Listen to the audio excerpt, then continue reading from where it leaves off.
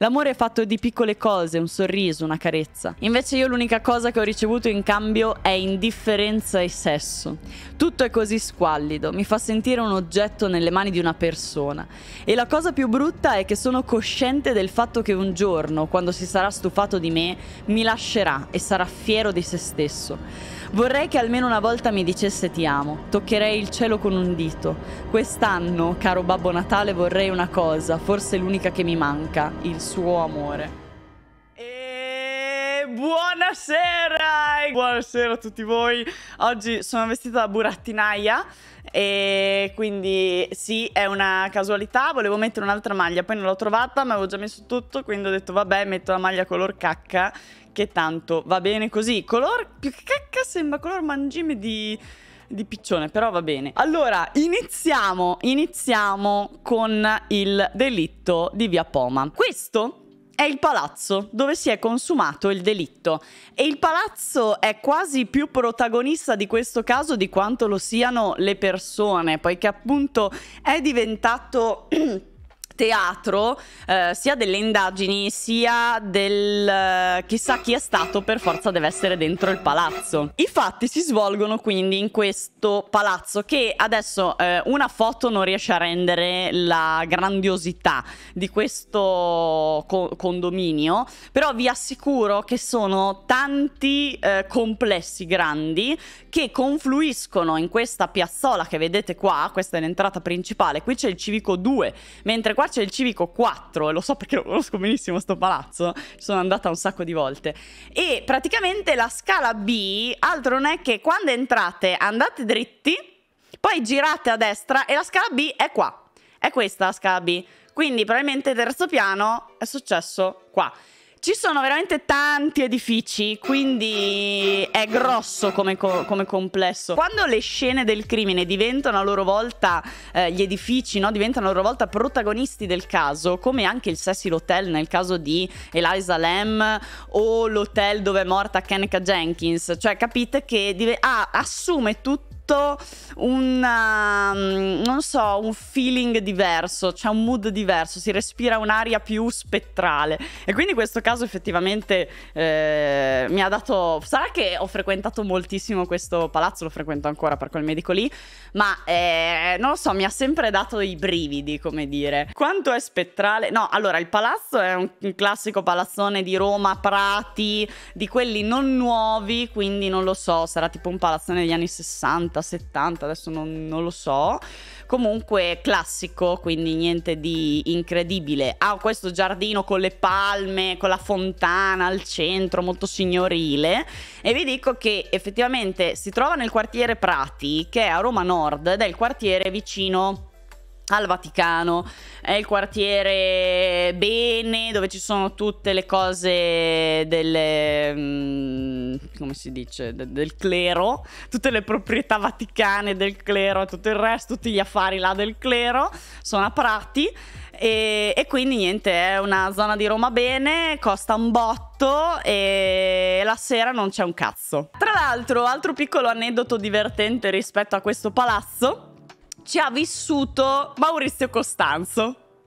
Quindi diciamo è un palazzo molto signorile dove ci stavano anche dei VIP, tra cui l'uomo eh, senza collo. Comunque ehm, vi dico anche che questo è un caso che mi ha colpita moltissimo, soprattutto perché mi ha fatta incazzare come una poiana perché hanno mietuto a mio parere più vittime coi media, con le indagini fatte a cazzo di cane, con puntare il dito contro la gente a cazzo di cane, hanno fatto più vittime così che il delitto di per sé. Poi adesso capirete perché vi dico questo. Altra piccola perla che eh, non volevo dimenticare, citavo perché poi questo pezzettino in realtà non l'avevo come dire, approfondito, però volevo dirvi che nel 95 il caso lo ha preso in mano un PM che si chiamava Settembrino Nebbioso. Ma andiamo avanti, andiamo avanti, dai, cominciamo a parlare bene eh, di, di, questo caso. Allora, la vittima, lo conoscete tutti il caso, adesso lo so che siete preparati, ne sapete a, a pacchi, quindi ho cercato di trovare delle cosine, dei dettagli, eh, delle cose che magari non avete già sentito in documentari o altre fonti.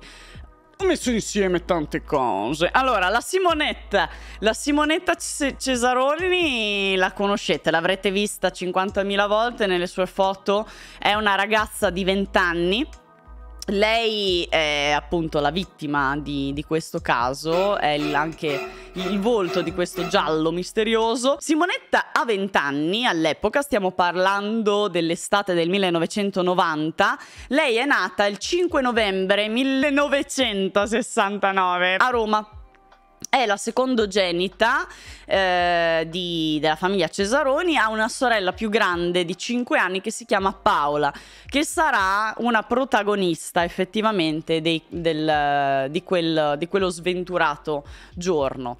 Comunque la famiglia Cesaroni era una famiglia da mezzi economici modesti, nel senso che non è che facessero la fame, però avevano una casa troppo piccola, per esempio la Simonetta non aveva una stanza tutta sua, lei dormiva in un divano letto posizionato in soggiorno dedicato a lei, quindi non aveva nemmeno una sua stanza. Per questo vi dico, non, cioè, non è che facessero la fame, avessero bisogno di rubare per mangiare, però non erano eh, benestanti, ecco. Loro vivono tra l'altro nel quartiere di Cinecittà Sud, eh, a Roma Sud, e stanno nella zona sud del parco di Centocelle. Se c'è qualcuno di Roma, sicuramente ha capito la zona di cui sto parlando.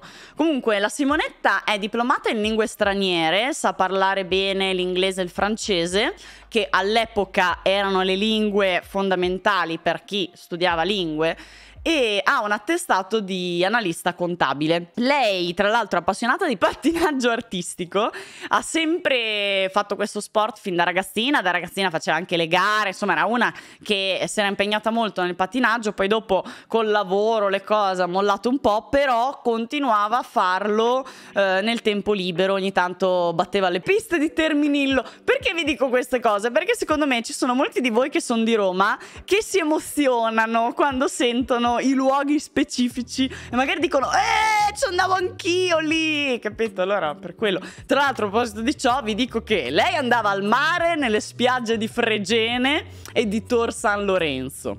E poi passava le serate in discoteca perché era anche un po' una discotecara andava al Piper al Pantarei e all'Acropolis che eh, se siete dei dei, dei romani di, di una certa epoca sicuramente conoscete.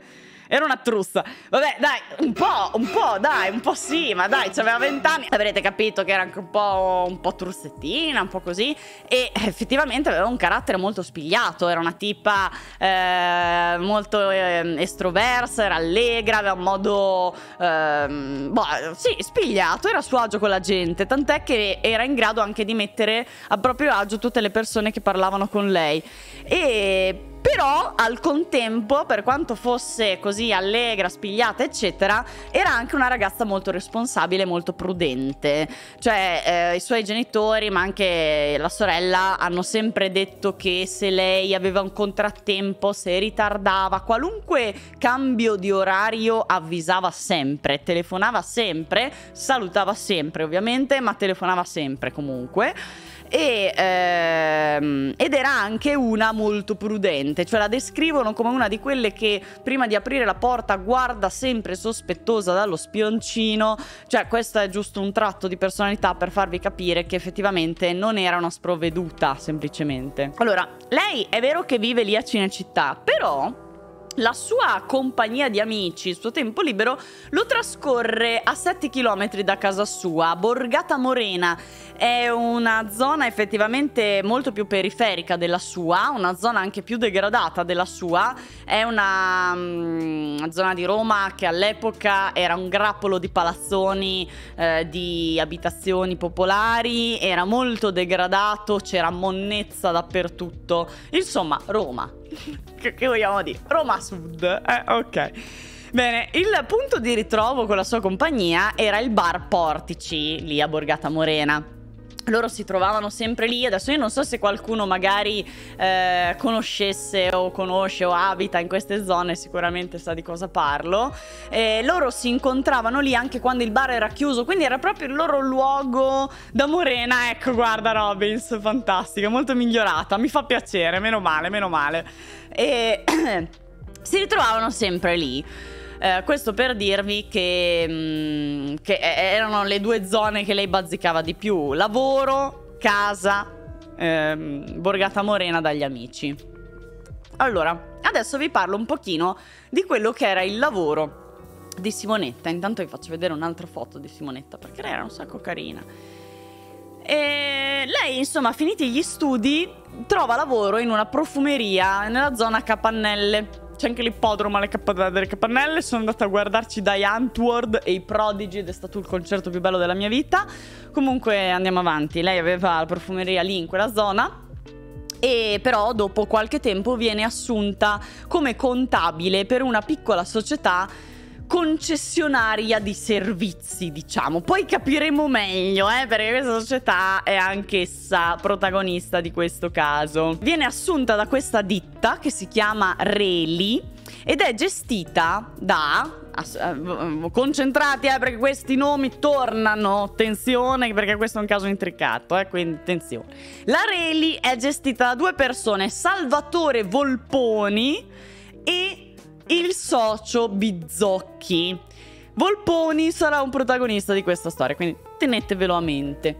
Comunque lei era l'unica impiegata di questo piccolo studio perché era una piccolissima società da gestire da queste due persone e lei lavorava lì dentro il lunedì, il mercoledì e il venerdì dalle 9 alle 13 e dalle 15.30 alle 19.30. La mansione di Simonetta era quella di inserire nel PC i dati contabili. Ora, eh, siamo nel 1990, i PC non sono quelli di oggi, sono dei computatori elettronici eh, che eh, non tutti sapevano usare, anzi nessuno, anzi c'era un attestato, un'abilitazione per riuscire ad usare queste macchine del demonio e Simonetta ce l'aveva. Ed era per questo che lei era stata assunta, infatti, non erano tantissime ad avere eh, questa specializzazione. Lei però, essendo anche l'unica impiegata nello studio, non faceva soltanto lavori contabili, ma faceva anche lavori da segretaria che teoricamente non le spettavano, però faceva anche questo. Lei sul lavoro viene descritta come una ragazza molto riservata professionale, bella concentrata, efficiente e Volponi, Salvatore, il nostro Volponi, eh, il suo capo, che tra l'altro scriverà un libro sul caso Via Poma, eh, libro che si chiama Io Via Poma, io, virgola, Via Poma e puntini puntini Simonetta, cringe, sì. Comunque, a parte ciò, nel suo libro la definisce una ragazza piena di segreti. Cito testualmente. Non siamo riusciti a capire che personalità avesse quella ragazza. Non era timida, questo è sicuro. Attenzione, eh, che qui vi voglio concentrati. Vi voglio concentrati pronti al trigger, eh? Pronti? Trigger, meno 3, 2, 1. Sapeva trattare con i clienti e non aveva difficoltà a sbrigarsela in ufficio. Spesso indossava la minigonna, oppure quella specie di calzamaglia attillatissima. Comunque vestiva bene, forse meglio di quanto potevano permetterle le 600.000 lire che le davamo. L'hanno descritta sexy, di certo non passava inosservata. E questa è la descrizione che della vittima fa il suo capo, il signor Volponi. Io vorrei che teneste accesa questa informazione nel vostro cervello, perché che schifo. Cioè, nel senso, che, che, che imbarazzo, esatto, che imbarazzo, che imbarazzo. Cioè, mi stai veramente dicendo che mi, mi, mi vuoi descrivere la personalità della ragazza sulla base del fatto che veniva al lavoro in minigonna e poi si metteva le leggings. Eh, che schifo. L'hanno descritta sexy, eh? No, perché io... Guai mai, non l'ho mica pensato io, eh? Non era nella mia testa.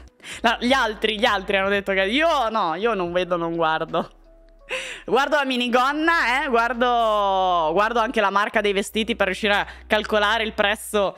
Ma assolutamente non guardo, io, se sexy io non lo sapevo, se era sexy io non lo sapevo. Va bene, Volponi, a posto, bene così. Comunque, sto scherzando ovviamente, stavo scherzando. Ma eh, Volponi è l'ultimo dei romantici, infatti, un cavaliere. In questo caso è stato palesemente il suo capo. No! Oddio, non lo so. Non lo so, forse anche. Volponi! Qualcosa che puzza c'ha. Ma adesso capirete. Comunque sia, nonostante l'abbia, l'abbia, descritta in questo modo, amici e parenti eh, non si trovano per niente d'accordo con la descrizione che ne ha fatto Volponi, perché appunto loro eh, la descrivono come una ragazza in realtà molto emotiva, molto aperta, assolutamente senza segreti. Anzi, pensate che era una ragazza talmente spontanea che lei era solita scrivere i suoi pensieri, le sue emozioni, quello che pensava in quel momento nei post-it e piccicarli dappertutto. Li piccicava anche sulle persone. Cioè, praticamente eh, una volta doveva dire: Ah, sai, oggi ti ho pensata mentre ho visto sta cosa e lo piccicava su sua sorella. Quindi, nel senso, era molto emotiva, era molto dolce, molto carina.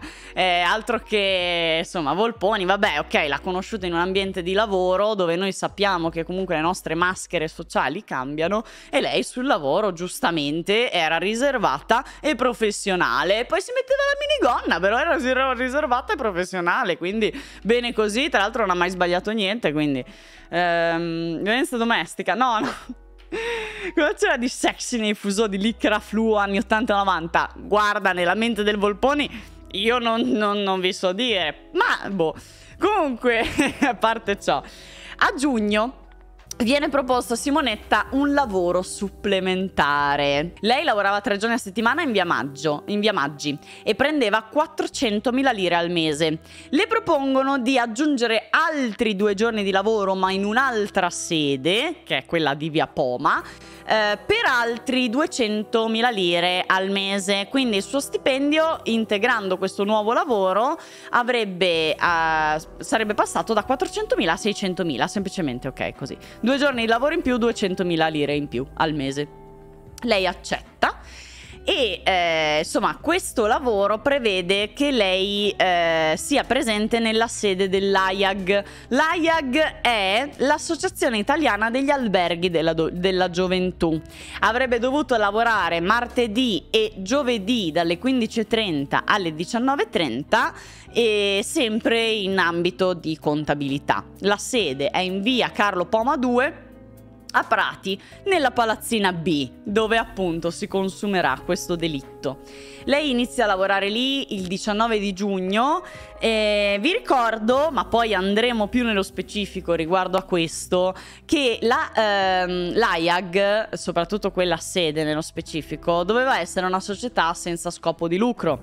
Quindi teoricamente lei avrebbe dovuto lavorare pro bono, ma noi sappiamo che la pagano 200.000 lire al mese per andare lì. E come la pagano se lei avrebbe dovuto essere lì gratis? Secondo voi? La, la, buona vecchia Roma, in nero, bravissimi, in nero. Simonetta veniva pagata in nero. Lei lavorava lì dal 19 di giugno e il delitto è avvenuto il 7 di agosto, quindi tre settimane dopo a, che lei aveva iniziato a lavorare lì. Tra l'altro il 7 agosto è una giornata molto particolare poiché la maggior parte della gente, adesso voi non so se lo sapete, ma eh, Roma ad agosto si svuota, tutti i romani scappano fuori da Roma, chi va al mare, chi va in vacanza, chi torna alla propria madre terra, eh, comunque sia il palazzo in via Carlo Poma era deserto, la palazzina B era completamente deserta, c'era solo un anziano signore, tale Cesare Valle, di cui parleremo più avanti, e Simonetta nell'ufficio. Simonetta andava a lavoro da sola, cioè entrava dentro questo studio dove lavorava in solitudine, poiché il 7 agosto, il 7 agosto erano andati tutti in ferie e poi di solito gli uffici dell'AIAG erano aperti al pubblico e dove c'erano appunto i lavoratori la mattina, mentre il pomeriggio era chiuso al pubblico e ci andava soltanto Simonetta, soprattutto in quegli ultimi giorni, perché tutti quanti erano in ferie. Simonetta aveva l'ordine eh, preciso quando era lì di pomeriggio a lavorare, aveva l'ordine preciso di non aprire assolutamente e non rispondere al telefono a nessuno poiché gli uffici erano chiusi al pubblico e lei non doveva assolutamente eh, dare corda, no? Eh, o far vedere che in qualche modo erano aperti. No, aveva l'ordine di non aprire la porta e di non rispondere al telefono. Perché questa cosa è importante? Perché lei aprirà la porta. Lei aprirà la porta a qualcuno e questo è un dettaglio non mica da poco perché effettivamente considerato che lei aveva l'ordine preciso ed era una molto diligente e precisa di non aprire a nessuno, chi ha aperto? A chi ha aperto quel giorno? E questa è una grande, grande, grande domanda. Un'altra cosa dobbiamo dire di Simonetta. Simonetta aveva un fidanzato nella sua vita in quel momento che si chiamava Raniero Busco. Diciamo che la relazione con Raniero, che somiglia terribilmente a Sollecito e non so per quale motivo, a parte gli scherzi, questo è il ragazzo che stava con lei all'epoca del delitto. Lei e Raniero si sono conosciuti nella comitiva di Morena, no? La, il giro di amici che aveva nella borgata Morena e ad agosto del 1988 appunto si conoscono e poi dopo un po' si mettono insieme.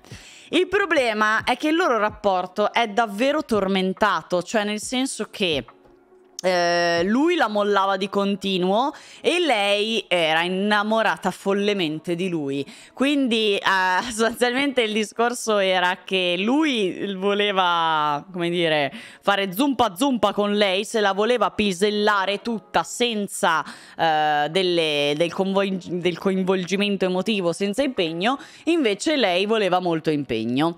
Ora vi parlerò un pochino di questa, di questa relazione perché effettivamente ci sono dei dettagli notevoli. Adesso tutti coloro che hanno vissuto una relazione eh, monodirezionale si sentiranno il cuore stringere e sprizzare sangue da ogni alveolo, ma sappiate che succede anche ad altri, in quel caso a Simonetta. Simonetta soffriva moltissimo. Tra l'altro Uh, Raniero dice, testuali parole, il nostro rapporto sentimentale non era equilibrato, nel senso che io nutrivo un semplice affetto nei suoi confronti, affetto col pisello, mentre lei mi amava strenuamente e a volte mi faceva capire che da me pretendeva un maggior coinvolgimento.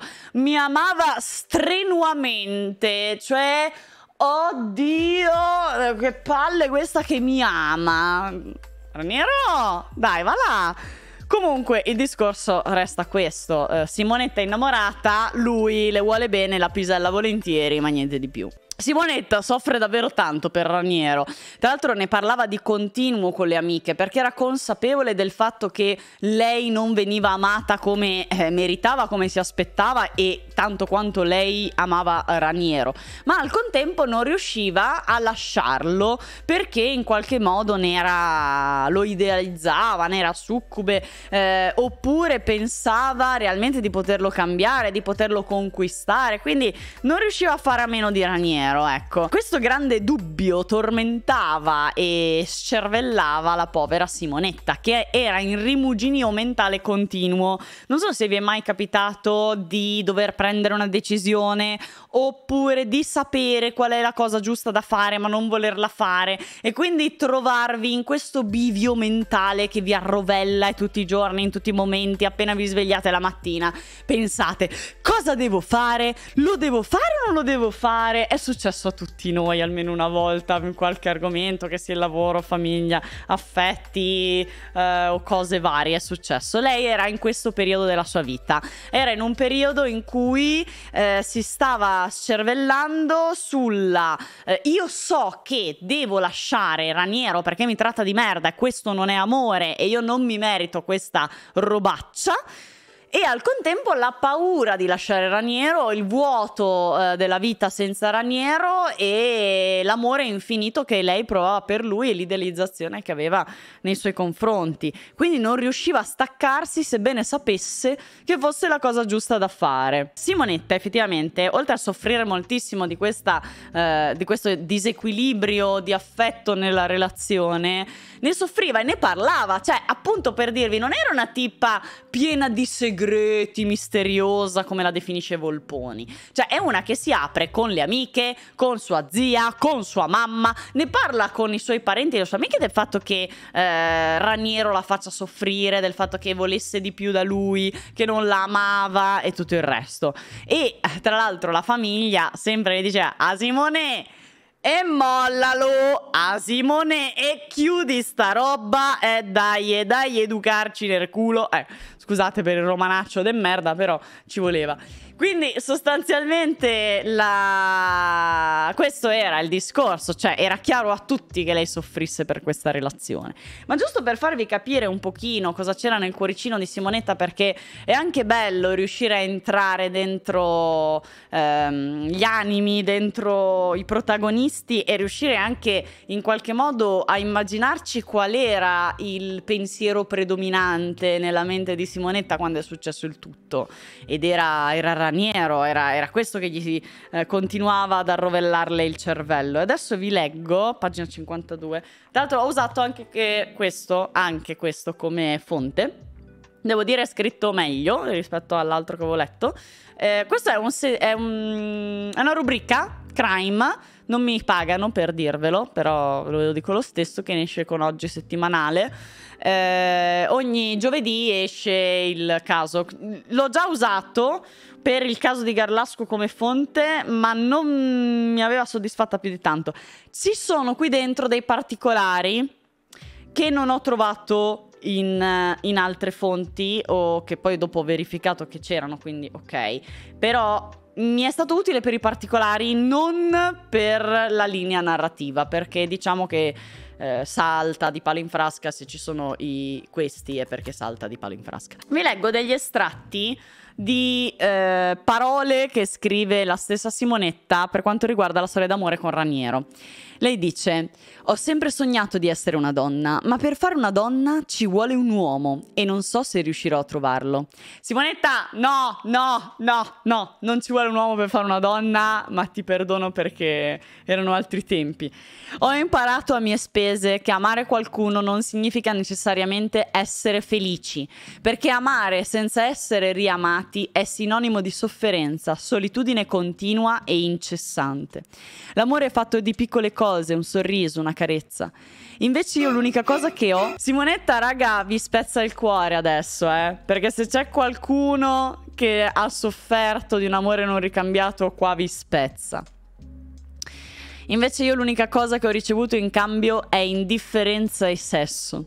Tutto è così squallido, mi fa sentire un oggetto nelle mani di una persona. E la cosa più brutta è che sono cosciente del fatto che un giorno, quando si sarà stufato di me, mi lascerà e sarà fiero di se stesso. Vorrei che almeno una volta mi dicesse ti amo, toccherei il cielo con un dito. Quest'anno, caro Babbo Natale, vorrei una cosa, forse l'unica che mi manca, il suo amore. Cioè, poverina, veramente poverina. Eh... Poi, altro pezzettino sempre dal... Um, sì, Peledocca davvero. Peledocca davvero anch'io. Questo scriverà, lo scriverà invece a... È una lettera indirizzata alla sua amica Donatella, una delle sue migliori amiche. Tra l'altro è quella che gli ha presentato Raniero. Dice, tante volte mi sono svegliata la mattina convinta che l'avrei fatta subito finita, ma una volta davanti a lui non ne ho avuto la forza. Se amarlo significa stare male, annullare me stessa, allora no, deve finire. Ieri sera per l'ennesima volta mi ha presa in giro, voglio odiarlo, odiarlo più di quanto lo amo, sono nauseata, disgustata da tutto questo. Non solo di lui, ma anche di me stessa, perché non ho abbastanza rispetto di me per dire basta una volta per tutte. Hai ragione tu, io merito qualcosa di più, qualcosa di vero e di pulito. Guardate, eh, sono le parole di, cioè di, di, di, una vittima anche di se stessa, perché magari lui con lei era chiaro, eh, perché la mollava, perché le diceva che non voleva eh, coinvolgimento, però lei era presa e non riusciva a staccarsi. Cioè, in questo caso, se lui le avesse voluto davvero bene, avrebbe dovuto lasciarla lui. Non doveva aspettare a lei questa decisione.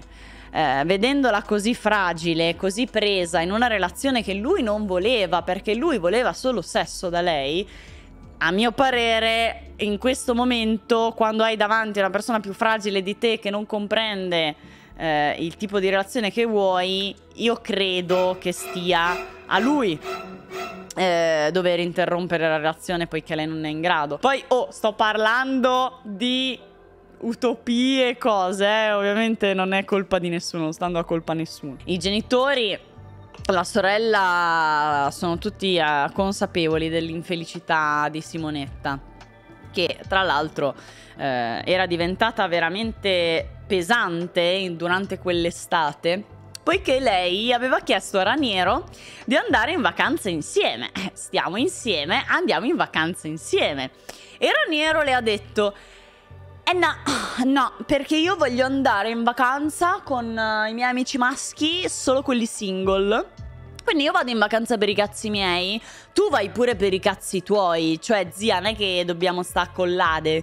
Eh, perfetto, uh, quindi il discorso è che Raniero quell'estate si è organizzato e andrà in vacanza effettivamente con altri cinque suoi amici del bar, tra l'altro della stessa compagnia che frequentava Simonetta, solo quelli single. Cioè, neanche da dire... Eh, c'erano altri ragazzi che nonostante avessero la fidanzata sono andati... No, no, proprio solo quelli single. Con la finalità di andare a rimorchiare, eh. Non ci prendiamo per il culo. Quindi chiaramente eh, c'era da una parte Simonetta che lo odiava per questo, ma si stava anche organizzando di andare in vacanza eh, per cazzi suoi in Sardegna e dire eh, vabbè oh, io comunque mi organizzo per cavoli miei, perfetto, brava, così si fa, non stare a casa a piangere. Bene, nella vita di Simonetta, oltre a questo fidanzato pessimo che avrebbe dovuto lasciarla, però va bene, ehm, c'era anche un'altra presenza molto inquietante. Un corteggiatore anonimo telefonico. Ovvero Simonetta, questa è una cosa sulla quale effettivamente hanno insistito molto, mm, ma vedremo come andrà a finire. Simonetta riceveva delle telefonate inquietanti, eh, ovvero sia a casa sia sul posto di lavoro, lei riceveva molto spesso telefonate di un ragazzo che non svelava mai la sua identità, non diceva chi fosse, ma la chiamava e la riempiva di parole d'amore. Non era Danilo Restivo, non era Danilo. Danilo mandava gli occhi di gatto, almeno no, questo era più carino perché lei rispondeva al telefono e lui le diceva Simonetta, quanto sei bella, oddio, no tu non hai idea, io ti guardo e mi emoziono, mi batte forte il cuore, io ti amo, sono innamorato di te. E lei dopo un po' diceva, mm, ma chi sei? Non posso dirtelo. Allora lei buttava giù. Era questa persona che non si capiva chi fosse ed effettivamente Simonetta, che come vediamo non ha segreti e non si tiene per sé chissà quante cose, tranne forse qualcosina che scopriremo alla fine di questa live, eh, aveva detto sia a sua madre sia ad altre conoscenze di ricevere queste telefonate e di esserne particolarmente spaventata. Quindi effettivamente questa era una delle piste principali rispetto all'omicidio della povera Simonetta. Eh, lui tra l'altro, come vi dicevo, la chiamava pure sul posto di lavoro e la chiamava anche in via Poma. Assurdo perché lei lavorava lì da tre settimane, era un lavoro extra, non aveva ancora specificato alla sua famiglia dove fosse ubicata eh, questo ufficio, dove fosse ubicato. Per cui lei diceva: Ma sì, vado a Prati, ma sì, scendo a Lepanto, però non aveva mai detto via Carlo Poma 2.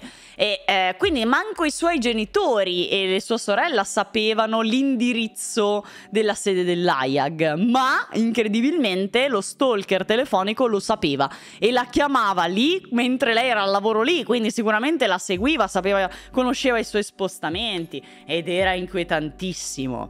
E infatti lei ne aveva parlato, ne aveva parlato e verrà fuori subito questa cosa quando cominceranno ad indagare, no? Ma poi vedremo, quando parleremo delle indagini, vedremo cosa scopriranno a riguardo di questo stalker. Ma veniamo ai fatti. Veniamo al 7 agosto del 1990, la data in cui è stata stroncata la vita della povera Simonetta. Allora, era un martedì. Quel martedì alle 10 di mattina Simonetta ha un appuntamento in via Maggi, che è la sede eh, della Reli, quella dove lei era stata assunta principalmente, suo lavoro principale. Quella mattina alle 10 aveva appuntamento con il suo capo, il signor Salvatore Volponi. Eh, Volponi, che tenetevelo a mente.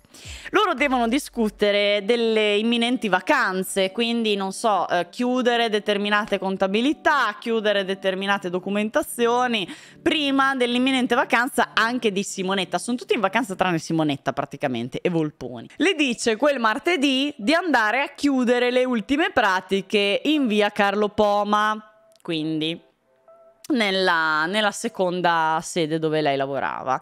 Quindi Simonetta rientra per pranzo, torna a casa e la madre, mentre cucina il pranzo, si rende conto che Simonetta sta al telefono a lungo. Ha una telefonata che dura più di 15 minuti. Insomma, mentre la, la, mamma cucinava, lei era al telefono. Non ha sentito nulla di questa telefonata. Sa che era una telefonata che è durata più di 15 minuti, quindi sicuramente qualcosa di impegnativo o anche un'amica per le chiacchierine, eh? Non è per forza quello. Quello che fa pensare che fosse una cosa eh, in qualche modo insignificativa è che quando Simonetta poi si è seduta a tavola al momento di pranzare con la famiglia, la eh, vedo vedono un po' contrariata, un po' nervosa. Lei eh, si deve recare in via Carlo Poma per le 15.30. Quindi eh, quel martedì entra da sola con le chiavi e eh, verso le 15 le dà un passaggio la sorella Paola, le dà un passaggio in macchina fino alla metro Subaugusta, che è quella più vicina a casa loro. Simonetta prende la metro, scenderà a Lepanto e poi farà tutta quella stradina che ho sempre fatto io per andare dal dottore per arrivare fino a eh, via Carlo Poma 2 e vi giuro che per me è emozionante rivivere quando hanno raccontato no, della strada che lei fa dalla metro all'indirizzo e poi fanno vedere il tragitto e fanno vedere le tempistiche, tutti i vari tragitti. Mi ha emozionato tantissimo perché effettivamente io stessa prendevo la metro per andare dal medico e facevo la stessa strada e ci mettevo lo stesso... No vabbè, scusate, eh, cose mie.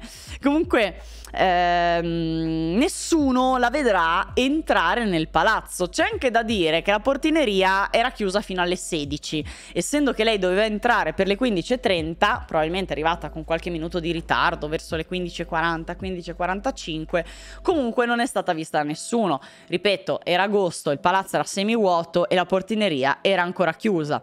Comunque lei entra nella palazzina B eh, dove ha al terzo piano l'ufficio. L'unico inquilino presente mentre lei era in ufficio è un certo Cesare Valle, che abita proprio al piano di sopra rispetto all'edificio, appunto all'appartamento dove è avvenuto l'omicidio. Cesare Valle è un noto architetto famoso poiché appunto è l'architetto che ha progettato tutto l'edificio di via Carlo Poma. E Cesare Valle è comunque ultra ottantenne molto anziano, vive ancora lì nel palazzo che lui stesso ha eh, progettato, che soddisfazioni. Ed era comunque l'unico presente nel palazzo in quel momento, considerato ovviamente troppo anziano e troppo ehm, affaticato eh, per riuscire a completare un delitto di questo tipo tempo. Comunque, la, mm, la Simonetta dovrebbe essere arrivata intorno alle 15.40 e noi sappiamo per certo che era sicuramente viva almeno fino alle 17.25 perché alle 17.25 lei ha avuto una telefonata, ha telefonato a una collega Luigina Berrettini che è una signora che lei in realtà non aveva mai incontrato perché è una che lavora la mattina in quella sede mentre lei va il pomeriggio quindi non si erano mai incontrate ma lavoravano negli stessi uffici. Quindi la chiama per chiederle dei codici di inserimento per la contabilità che non aveva capito insomma hanno questo scambio. Tra l'altro la Luigina dice delle cose quando testimonierà, dice delle cose un po' strane perché dice ah ma io ho parlato con lei, abbiamo fatto quattro chiacchiere, mi ha raccontato che da lì a poco sarebbe andata in ferie. Mm, vabbè, eh, cose un po', un po' too much considerato che non si conoscevano, non si erano mai viste, ma raga, cioè la gente dà anche confidenza, quindi qua eh, io non giudicherei più di tanto. Comunque, questo non è più di tanto interessante se non che abbiamo la certezza che fino alle 17.25 Simonetta fosse sana e salva nell'ufficio. Lei doveva tornare a casa per le 19.30 per cena. Infatti i suoi genitori la, la aspettano a casa, i suoi genitori e sua sorella Paola che è tra l'altro accompagnata da Antonello, che è il suo fidanzato, che quella, quella sera era con lei. Comunque, eh, Simonetta quella sera doveva uscire con gli amici della compagnia di Borgata Morena, appunto per salutare tutti prima delle vacanze. Tra l'altro anche il suo fidanzato che sarebbe poi partito con i suoi amici alla facciaccia sua.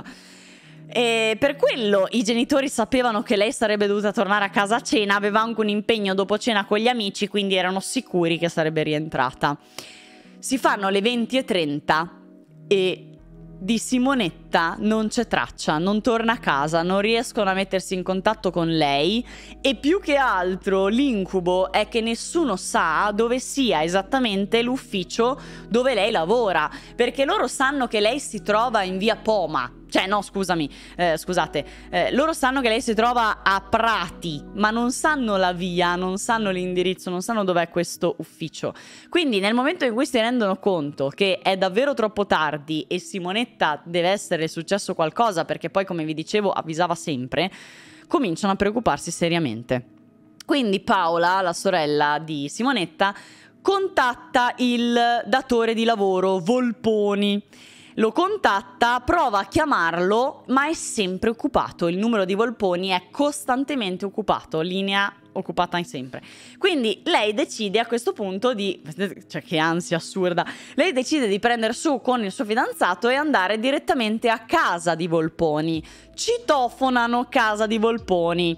Salgono su e gli dicono non troviamo più Simonetta, è andata a lavorare, sai dov'è? Lui dice io avrei dovuto sentirla alle 18.30, avrebbe dovuto chiamarmi in merito al lavoro che doveva svolgere in ufficio per le ultime cose, conclusioni tipo ok confermo tutto a posto. Però questa telefonata non mi è mai arrivata quindi ho dato per scontato che Simonetta non avesse bisogno di me e se la sia cavata da sola, non mi sono preoccupato per questo. E loro dicono eh no sì, cioè sono passate le 9, non è ancora tornata a casa, l'ultimo luogo dove era era l'ufficio ehm, dove l'hai mandata te e quindi eh, facci sapere un po' dov'è. Colpo di scena, Volponi non sa dov'è questa sede dell'AIAG, non sa dove sia, lui non conosce l'indirizzo via Carlo Poma 2 e quindi comincia a scartabellare. E poi dice no io devo chiamare il mio socio Bizzocchi ma Bizzocchi è in ferie. E allora dov'è il camping? E la moglie? E allora no chiamiamo un'altra segretaria. E no chiama ci mette un'ora. Un'ora. E alla fine riesce Paola perché lei è l'unica che scuote le, le, persone e dice raga ma se è la sede dell'AIAG lo troviamo sulle pagine bianche o le pagine gialle sfogliano, trovano l'indirizzo, vanno Invece Volponi era là che cercava no, di chiamare, eccetera. Ma questo atteggiamento potrebbe anche essere riconducibile a, che ne so, magari una volontà di temporeggiare, di, di prendersi un po' di tempo, ma vedremo più avanti. Comunque sono le 22 quando Paola, il fidanzato, Volponi e il figlio di Volponi arrivano in via Carlo Poma 2. E eh, lì c'è una finestra al piano terra, una finestra con delle grate. Eh, si avvicinano a questa finestra, in particolare si avvicina Volponi a passo sicuro, come se già sapesse dove dovesse andare, e all'interno ci sono una signora, il figlio e la cognata seduti a tavola. È la famiglia della, della, del portinaio, è la famiglia Vanacore. Il portinaio di casa si chiama Pietrino Vanacore, tutto il palazzo e la moglie che era lì appunto all'interno si chiamava Giuseppa De Luca, il figlio che è lì si chiama Mario, ovviamente Vanacore e c'è anche la eh, moglie di Mario, quindi la cognata della signora, mentre manca il portiere Pietro, poi adesso capiremo perché. Volponi che non doveva conoscere eh, l'indirizzo, che non doveva assolutamente essere mai stato lì prima di quel giorno, eh, inizia a parlare, intanto si avvicina a quella finestra a colpo sicuro, poi inizia a parlare con la signora in maniera abbastanza sicura di sé, La sorella di Simonetta, Paola, si avvicina, le prime battute non le riesce ad ascoltare, ma riesce a sentire questo pezzo di conversazione in cui Volpone dice eh, Signora, si ricorda di me? Sono quello dell'altra volta. Quindi, insomma, sembra un po' strano che il Volponi non fosse mai stato lì, ma dice alla signora si ricorda di me.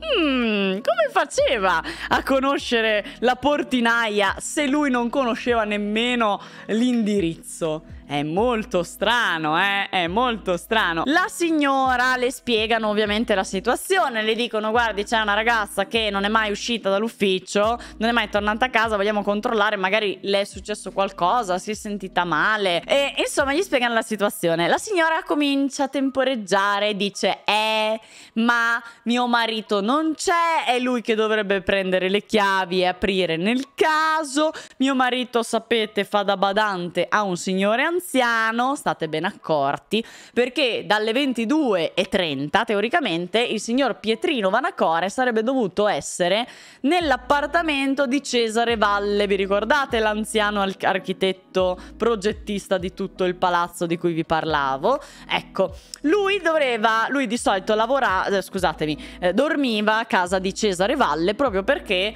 Cesare era troppo anziano e aveva bisogno di eh, assistenza notturna in caso di emergenza emergenza, quindi il portinaio dormiva lì, da lui. E quindi in quel momento eh, Pietro dovrebbe trovarsi a casa di Cesare Valle. Non c'erano i cellulari. Quindi la signorina Giuseppina, la signora, scusatemi, la signora Giuseppina, che è la portinaia, chiama nell'appartamento di Cesare Valle per poter parlare con Pietro che dovrebbe essere lì. Il problema è che risponde Cesare Valle e dice no, guarda che Pietro ancora non è arrivato. E dov'è Pietro? Grande domanda. Quindi a questo punto la signora dice, eh, guardi, non so dove è mio marito, quindi non posso aprirle. Paola comincia a sclerare di brutto. Dice, io butto giù la porta, ma non mi frega un cazzo, perché se mia sorella si è sentita male e sta là dentro e ha bisogno di eh, soccorso e noi stiamo qui a fare i pistolini agli angeli perché non si può aprire quando le chiavi sono lì, io butto giù la porta. A questo punto la signorina Giuseppina, la signora, scusate, perché si chiama Giuseppina, quindi mi viene da dire signorina. Eh, la signora Giuseppina si fa convincere e quindi prende le chiavi, vanno al terzo piano della palazzina B e aprono la porta della sede dell'AIAG. Era chiusa con quattro mandate, dettaglio non da poco, nel senso che sembrava che Simonetta se ne fosse già andata, siccome la porta era stata chiusa dall'esterno. Quindi dai, dai e dai, entrano. Volponi, guardate un po', è il primo che entra. Fa un giro, c'era un corridoio Immaginatevi, eh, hanno fatto il plastico, hanno fatto di tutto. Comunque, immaginatevi l'ingresso. D'altro sono fatti tutti così, anche il mio medico ha lo stesso tipo di planimetria. Voi entrate e c'è subito un corridoio eh, trasversale. Quindi non è come i soliti palazzi che dall'entrata c'è un corridoio dritto per dritto, ma lì era trasversale e tutte le stanze si sviluppavano sia a destra che a sinistra. Ok. Comunque Volponi entra per primo, al buio comincia a girare a destra manca, a chiamare e poi esce subito e dice no no, qui non c'è nessuno, andiamo a cercarla da un'altra parte. Paola si mette in mezzo e dice scusa eh, un attimo, guardiamo un po' meglio. Quindi entrano, accendono le luci e cominciano a guardare stanza per stanza. E guarda un po', nell'ultima stanza in fondo a sinistra si trovano il corpo di Simonetta in un piccolo lago di sangue. Dico piccolo lago di sangue perché non posso dire in un lago di sangue come al solito, poiché il sangue non era poi quanto ci saremmo aspettati, adesso capiremo. Un po' sospetto. E è un po'. è, è assai sospetto e lo sarà. Bene, allora, adesso io vi faccio vedere dei disegni, perché ovviamente non vi posso mostrare la scena del crimine qua su Twitch, ma vi posso far vedere dei disegni in modo tale che ci rendiamo un pochino conto di quello che è. Allora, questa è la visione dall'alto della posizione in cui viene trovata Simonetta. Innanzitutto c'è da dire che sulla scena del crimine non ci sono segni di effrazioni, quindi il killer sicuramente conosceva la vittima e hanno sempre dato per scontato che Simonetta gli abbia aperto la porta. Io aggiungo che esiste anche un'altra opzione, cioè che l'assassino fosse già dentro prima che lei entrasse e che fosse rimasto nascosto da qualche parte e poi abbia attaccato ad un certo punto. Sì, è più complessa, è più visionaria e, e sembrano unicorni, però eh, è una cosa che dobbiamo non si può dar per scontata, cioè può anche essere o che aveva le chiavi, ma in realtà questo no, non poteva avere le chiavi perché effettivamente se n'è andato con le chiavi di Simonetta, se le avesse avute lui le avrebbe lasciate lì, mi viene da pensare comunque, eh, vabbè, lei potrebbe avergli aperto, siccome aveva l'ordine di non aprire a nessuno, in qualche modo o ha aperto a qualcuno che conosceva oppure ha aperto a qualcuno che doveva entrare in merito al suo lavoro, al lavoro che lei stava svolgendo. Quindi o una o l'altra o semplicemente lui era già dentro ad aspettarla. Comunque, eh, Simonetta non si trova nel suo ufficio, lei non è cadavere nel suo ufficio, lei è morta nell'ufficio di Corrado Carbone, un collega che lavorava lì dentro. Eh, nel suo ufficio c'era del trambusto in qualche modo, quindi lei eh, sicuramente è stata portata in quell'altro ufficio per qualche altro motivo, però giusto per, eh, ehm, perché ve ne rendiate conto. Comunque il corpo è steso a pancia in su, ha il capo reclinato da un lato, come potete vedere dall'immagine, ed è completamente nuda.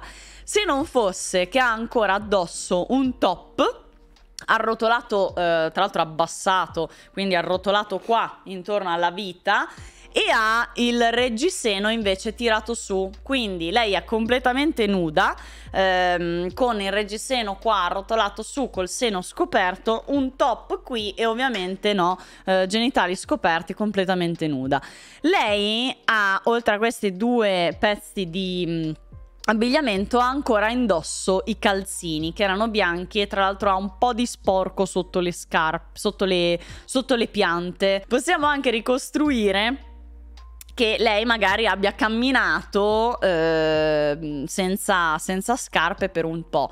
Questo è anche credibile considerato che abbiamo trovato le sue scarpe da ginnastica riposte in maniera ordinata una accanto all'altra proprio nella stanza del delitto. Quindi è possibile che lei sia stata obbligata a togliersi le scarpe o che se le sia tolte in qualche modo gliele abbiano tolte e lei abbia comunque cercato di muoversi all'interno della stanza senza le scarpe o si sia mossa per qualche motivo all'interno della stanza senza le scarpe. Non avevano pulito chissà bene quanto il pavimento perché eh, aveva lo sporchino sotto. Comunque non verranno mai ritrovati da eh, suo corpo tantissime cose. Cioè, l'assassino si porta via un botto di roba che io ho identificato come trofei, ma poss- possono tranquillamente essere anche eh, cose tolte dalla scena del crimine proprio per lasciare meno indizi possibili. Comunque, se ha preso dei trofei ha fatto la spesa sto killer perché ha preso le mutandine di Simonetta, i pantaloni, la t-shirt, gli orecchini, le chiavi dell'ufficio con cui ha anche richiuso, ehm, un anello d'oro da 200.000 lire, un braccialetto d'oro da altrettante 200.000 lire e le ha anche rubato 500.000 lire in contanti. Cioè, qua proprio... Cioè, la, la, collezione dei trofei. Ovviamente non possiamo dire se è stato per trofeo o per depistaggio, una delle due l'altra, insomma. Ma c'è da dire una cosa. Le scarpe non sono state trovate nell'ufficio di Simonetta, sono state trovate nell'altro ufficio dove lei è stata ritrovata cadavere, che non era il suo ufficio. E quindi il fatto che ci fossero le scarpe posizionate lì mi fa pensare che non le abbia tolte lei di sua spontanea volontà. A meno che non pussassero così tanto da dire le metto nell'ufficio di quell'altro, così pussano il suo ufficio domattina quando viene. Ah, scherzone. Ma non credo. Adesso vi faccio vedere una immagine. Dall'autopsia emerge che la ragazza è piena di ferite da taglio. Ne ha ben 29. 6 al volto e agli occhi. 8 coltellate al torace, ma soprattutto, come potete vedere anche dall'immagine, ne ha ben 14 all'inguine e ai genitali. la ferita mortale le viene inflitta alla gola, una ferita che la trapassa da parte a parte. Lei, tra l'altro, oltre alle ferite da taglio, ha dei grossi lividi sulla parte sinistra del volto e in corrispondenza delle anche. Lo vedete anche qua, no? Ecchimosi, lo vedete sul disegno. Ora, capendo dove sono i luoghi dell'ecchimosi, potete capire come lei effettivamente abbia subito una pressione sulle anche. Quindi il killer quasi sicuramente ha appoggiato le ginocchia su di lei, quindi si è inginocchiato su di lei per poi infliggerle, no? Tutte queste coltellate e ha lasciato, eh, poverina, anche i lividi sulle sue anche. Una morte orribile, tra l'altro ehm, non è neanche una morte immediata perché lei ci ha messo un po' a morire. Quindi macellaio, macellaio, assolutamente sì. Abbiamo, eh, hanno ricostruito la dinamica così. Siccome lei, appunto, come vi dicevo, ha questi grossi lividi sulla parte, scusate, sulla parte sinistra del volto, è probabile che l'assassino prima l'abbia colpita violentemente con un pugno, con uno schiaffone e l'abbia mandata a terra, quindi lei ha perso i sensi o comunque era molto molto eh, rintronata, eh, tale da non potersi immediatamente difendere e infatti non ci sono segni di difesa sul corpo della vittima e non ci sono nemmeno tracce di violenza sessuale. E attenzione, perché qui si scopre quello che poi eh, è la mia teoria finale. Cioè, hanno voluto far sembrare che fosse un omicidio a sfondo sessuale cioè, era gente che conosceva eh, il modus operandi di un sadico sessuale. Sono persone che hanno inferto delle eh, persone, una persona, l'assassino, ha inferto delle ferite in maniera consapevole, imitando un determinato tipo di uccisione, ma senza perpetrare la violenza sessuale, che è la base di un omicidio di questo tipo. E quindi, zan zan zan. Però voi mettete da parte questa informazione perché vi arriverà soltanto verso il finale di questa live e andiamo avanti a credere che sia un killer sadico sessuale. Quindi, diciamo, non c'è violenza sessuale se non quella del picherismo. Sapete cos'è il picherismo? Adesso vi faccio una piccola lezioncina di criminologia. Pic- piquerismo è una parafilia, ecco, è una parafilia eh, che prevede la eh, penetrazione della donna attraverso un'arma, quindi molto spesso un pugnale.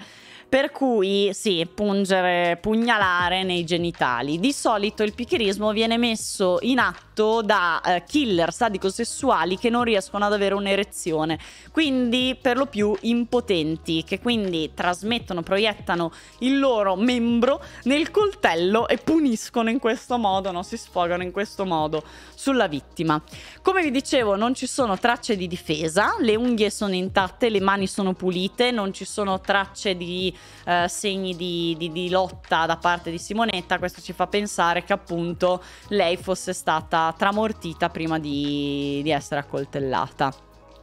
Ma c'è un segno sul suo corpo che ha fatto scaturire le più immense fantasie e teorizzazioni il morso sul capezzolo, il famoso morso sul capezzolo. Allora, vi ho fatto vedere il disegno del medico legale apposta perché voi possiate capire di cosa stiamo parlando, perché la maggior parte delle fonti parla di morso senza farvi vedere i segni. Questi sono segni, non sono morsi, sono segni sul capezzolo. Ok, li vedete dove sono posizionati? Uno dritto in alto, uno dritto sul lato del capezzolo. Ok? Sono segni, sono escoriazioni, sono ferite. Questo è oggettivo. Morso è un'interpretazione, ok? Bene, oggettivamente sono ferite. Sono ferite, tra l'altro, con la crosticina, segno che questo è stato eh, inflitto mentre era in vita, ma che Simonetta è anche rimasta abbastanza in vita poiché il segno si sia crostificato. Quindi, o lui eh, l'assassino, dopo averle inflitto questo morso, questa ferita, eh, ha aspettato 45 minuti prima di ucciderla, o è una ferita antecedente al delitto cosa molto più probabile. Comunque sappiate che questo morso, sì, sono segni vecchi, sono segni vecchi, raga. Però questo morso, che hanno chiamato morso, ha scaturito le fantasie della procura in maniera incredibile. Perché ovviamente eh, i, eh, i medici legali hanno detto sono segni, sono stati crostificati eh, sicuramente entro in 45 minuti, quindi lei non è morta eh, in 40, cioè, come dire, è rimasta in vita per 45 minuti almeno dopo che questa ferita è stata inflitta, ma comunque la procura ha detto quello è un morso e gliel'ha dato l'assassino, punto. Cioè, nonostante non erano quelli i, i verbali, però va bene, a posto, a posto così. Ma ci arriviamo, ci arriviamo dopo con calma. L'ipotesi eh, che si sono fatti inizialmente gli inquirenti vedendo la scena del crimine è che l'assassino ha eh, aggredito Simonetta, prima colpendola a, tella, a terra, tramortendola, salendoci sopra, prendendo un'arma del delitto che poi dopo vedremo qual è probabilmente, colpendola ripetutamente, volendo avere questa erezione che non ha avuto, quindi poi l'ha colpita ai genitali perché ha avuto questo raptus di frustrazione da Pippo che non collabora. Eh, perfetto, arma del delitto. Allora, per capire di che tipo di arma possiamo parlare, dobbiamo vedere la profondità e il tipo di ferita che è stata inflitta sul corpo. Quindi noi abbiamo una massima profondità di ferita di 11,5 cm e una larghezza massima di ferita di 1,3 cm. L'arma fa pensare inizialmente ad un pugnale, però noi dobbiamo sapere che innanzitutto era un'arma da punta, quindi sicuramente aveva una punta che si inficcava, ma aveva anche eh, una lama quindi era da taglio. Una lama bitagliente, quindi non era un coltello da cucina, ma in qualche modo qualcosa che somigliava molto di più a un pugnale bilama.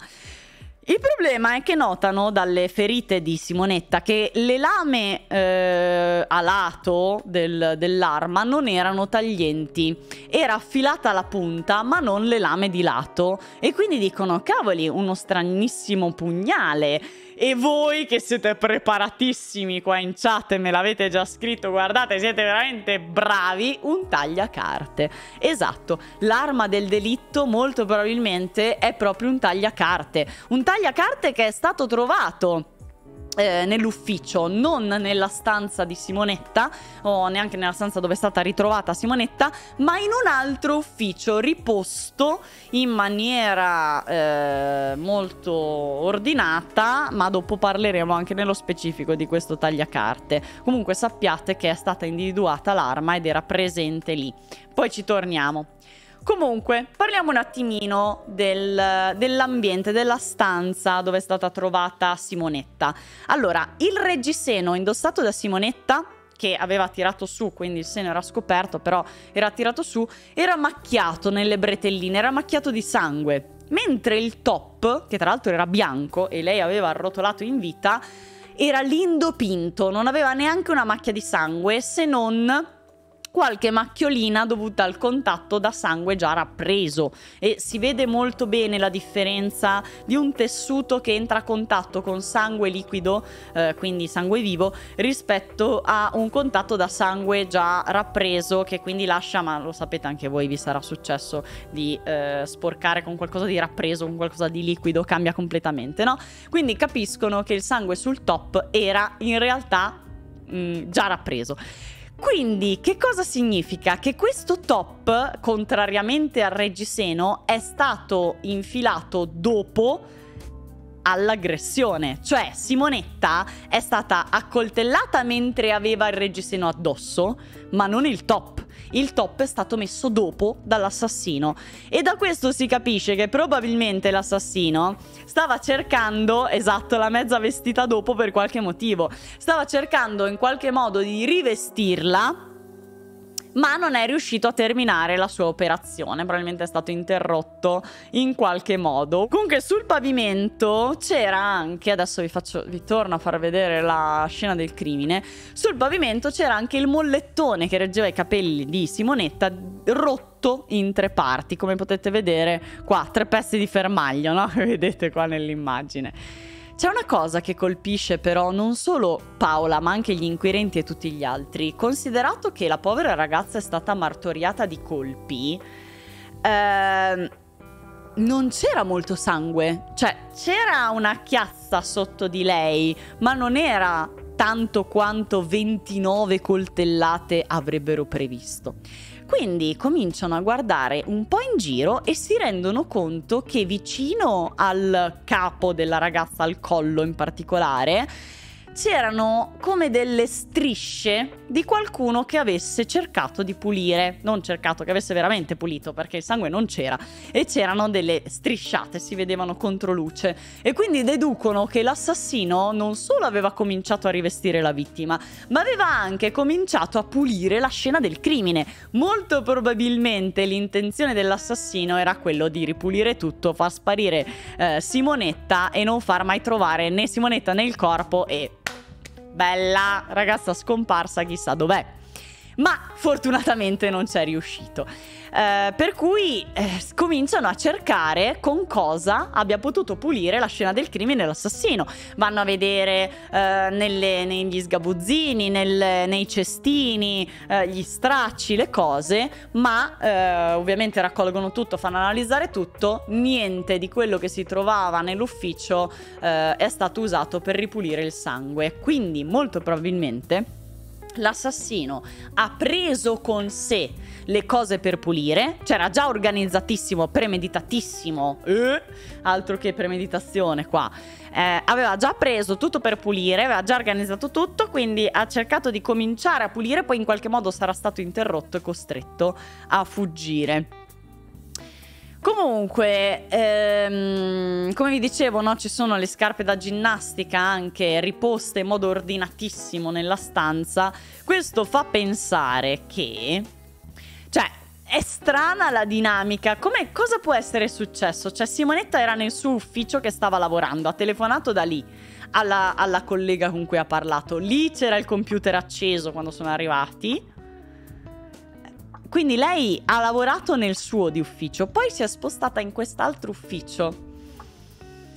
E è probabile che sia andata ad aprire o qualcuno è entrato o era già lì. L'ha portata nell'altro ufficio. Poi cosa può essere successo? L'ha minacciata con un'arma? Le ha detto spogliati? Um, oppure l'ha colpita al capo? E ha cominciato lui a spogliarla e ha fatto tutto dopo averla, come dire, averle fatto perdere i sensi dopo la botta in testa. Adesso vi faccio vedere un'altra cosina. Questi sono disegni del medico legale, peraltro, eh, quindi mm, onorevoli disegni. Allora, tracce di sangue. Come potete vedere da questa immagine, sulla porta dell'ufficio dove è stato consumato il delitto sia all'interno che all'esterno ci sono delle tracce di sangue molto, molto interessanti sia all'interno che all'esterno. La porta viene smontata e viene portata ai laboratori della scientifica per eh, controllare, insomma, analizzare queste tracce di sangue. Piccolo eh, appunto, siamo nel 1990, non c'è il DNA che nasce nel 2000-2001, quindi non abbiamo queste tecniche forense, forensi scientifiche che abbiamo oggi, ma potevano in qualche modo analizzarne il gruppo sanguigno e eh, qualche combinazione genetica eh, alla, a, a, come dire, a, alla grossa, alla grossolana. Ora non, non, ho grandi competenze in biologia, anzi non ne ho quasi nessuna, quindi eh, se qualcuno ne sa più di me ben venga e dia il suo contributo in chat. Comunque sappiate che nel 1990 il, le analisi sulle tracce ematiche non erano eh, molto molto precise, ecco. Comunque, il sangue all'interno della porta è di Simonetta, è di tipo, è di gruppo 0 e eh, paragonato al sangue di Simonetta era proprio quello, era uguale identico, quindi è quello di Simonetta. Mentre il sangue all'esterno della porta è di gruppo A ed è un DNA maschile. Quindi, molto probabilmente, il sangue che voi vedete sulla porta qui è quello dell'assassino, che in qualche modo si è ferito nella colluttazione o qualcosa, eh, è quello dell'assassino ed è di tipo A. Oppure è quello di qualcuno che l'assassino ha voluto posizionare sulla scena del crimine e se n'è andato. Anche perché Posso dirvi una cosa? Volete commettere l'omicidio perfetto? Procuratevi una cazzo di fiala di sangue di qualcuno che non siete voi e lasciatene un po' sulla porta, così. Anche perché, scusate un attimo, eh, ma guardate bene queste cazzo di, eh, di, di, di, tracce ematiche. Secondo voi, com'è possibile che un assassino si sia ferito in modo tale da lasciare delle tracce di sangue così precise senza contaminazione, solo, solo quelle di gruppo A. Cioè, secondo me, io, se fossi un assassino così organizzato come era lui, mi sarei presa dietro una fialettina di qualcuno e avrei cominciato a fare, sai cosa? Patatrack, patatrack e patatrack. Aspetta, anche un po' sulla maniglia. Cioè, scusate, eh. Ricostruiamo i movimenti della mano che ha fatto questo assassino per sporcare di sangue la porta in questo modo. Allora, ha sporcato il... Adesso ve la ringrando. ringrando, nuovo verbo. Ha sporcato la punta della maniglia, il di sopra, il di sotto facendo una curva palesemente eh, con, mm, concava cioè, vedete che hanno delle direzioni diverse, non è un unico movimento. Sì, un pittore, un pittore. A me, a me viene in mente un pittore, uno che si è messo lì a spargere tracce di sangue. Anche perché non sarebbe la prima volta che lo fa. Considerato quello che verrà fuori poi nelle, durante le indagini, poi capirete perché. Mignolo stava. Ok, mignolo lì, mignolo. Stava chiudendo. Allora, il mignolo ha toccato la punta della eh, della maniglia. Ha aperto la maniglia, mignolo, cioè, così, no? Mignolo sulla punta della maniglia, mignolo sulla cosa, poi ha fatto così, poi cosa ha fatto? Anche così? Poi aspetta, ha detto no, aspetta che ne manca una al centro, pigio il mignolo anche lì. Cioè, raga, queste tracce non hanno senso, però è una mia interpretazione. Questa non l'ho letta da nessuna parte, ho guardato le figure e ho detto, mmm, mi puzza. Però, ripeto, è una mia interpretazione e l'ho vista un po' strana io, ma andiamo avanti. Bene, nell'ufficio di Simonetta, quello dove lei ha lavorato, la sedia era ruotata di 90 gradi rispetto al computer che si trovava ancora acceso. Ci sono le cose di Simonetta nel suo ufficio, c'è la sua borsetta, c'è il suo ombrellino fucsia e c'è una cartellina. Quindi le sue cose erano lì, lei ha lavorato nel suo ufficio, perché la trovano morta in un altro ufficio? Strano. Un'altra cosa molto strana, che, sulla quale però non hanno mai trovato una risposta, non, non sappiamo perché, ma magari noi qua ci riusciamo a darci una spiegazione. Avete presente le foto di Simonetta che sono diventate no, virali, eh, simbolo della sua, eh, della sua, tragedia, poverina? Queste foto sono state eh, scattate lo stesso giorno di tre anni prima cioè lo stesso giorno, sono tutte foto della stessa giornata, ma stata, eh, sono state scattate nell'estate di tre anni prima. Ed erano state scattate dall'ex fidanzato di Simonetta, tale Tatarella, il signor Tatarella, che gliele aveva riconsegnate a fine 1989, quando si sono lasciati, hanno chiuso la loro relazione e il suo ex gli ha ridato i negativi, no? Lei ha preso i negativi, ma era l'89 Ora, nella borsetta di Simonetta, quella sera in cui lei è stata uccisa, c'erano i negativi di quelle fotografie, vecchie di tre anni, in quattro strisce. E tra l'altro ce n'erano anche alcune stampate. Quindi, o quel giorno Simonetta per pura casualità ha deciso di andare a stampare quelle foto e ha portato i negativi e ne ha fatte stampare solo alcune, Oppure è un indizio che non riusciamo a capire che senso abbia. Io tendo a usare il rasoio di Occam e dirvi che probabilmente quelle erano foto dove lei si vedeva venuta bene e voleva stamparle. E quindi probabilmente le aveva dietro per, perché le aveva, le aveva stampate. Lo so, raga, non sono molto para... come dire... non sono molto complottara in questo caso, ma perdonatemi, perdonatemi. Allora, vi presento uh, la nostra Giuseppina, la portiera, che abbiamo già visto, no? In relazione a quando sono arrivati in via Carlo Poma, che Volponi ci ha parlato. Comunque, trovano il cadavere di Simonetta, trovano la scena del crimine che vi ho appena descritto. Cosa succede? Tutti quanti si concentrano sull'androne, perché Paola piange disperatamente perché ha appena visto il cadavere della sorella, giustamente.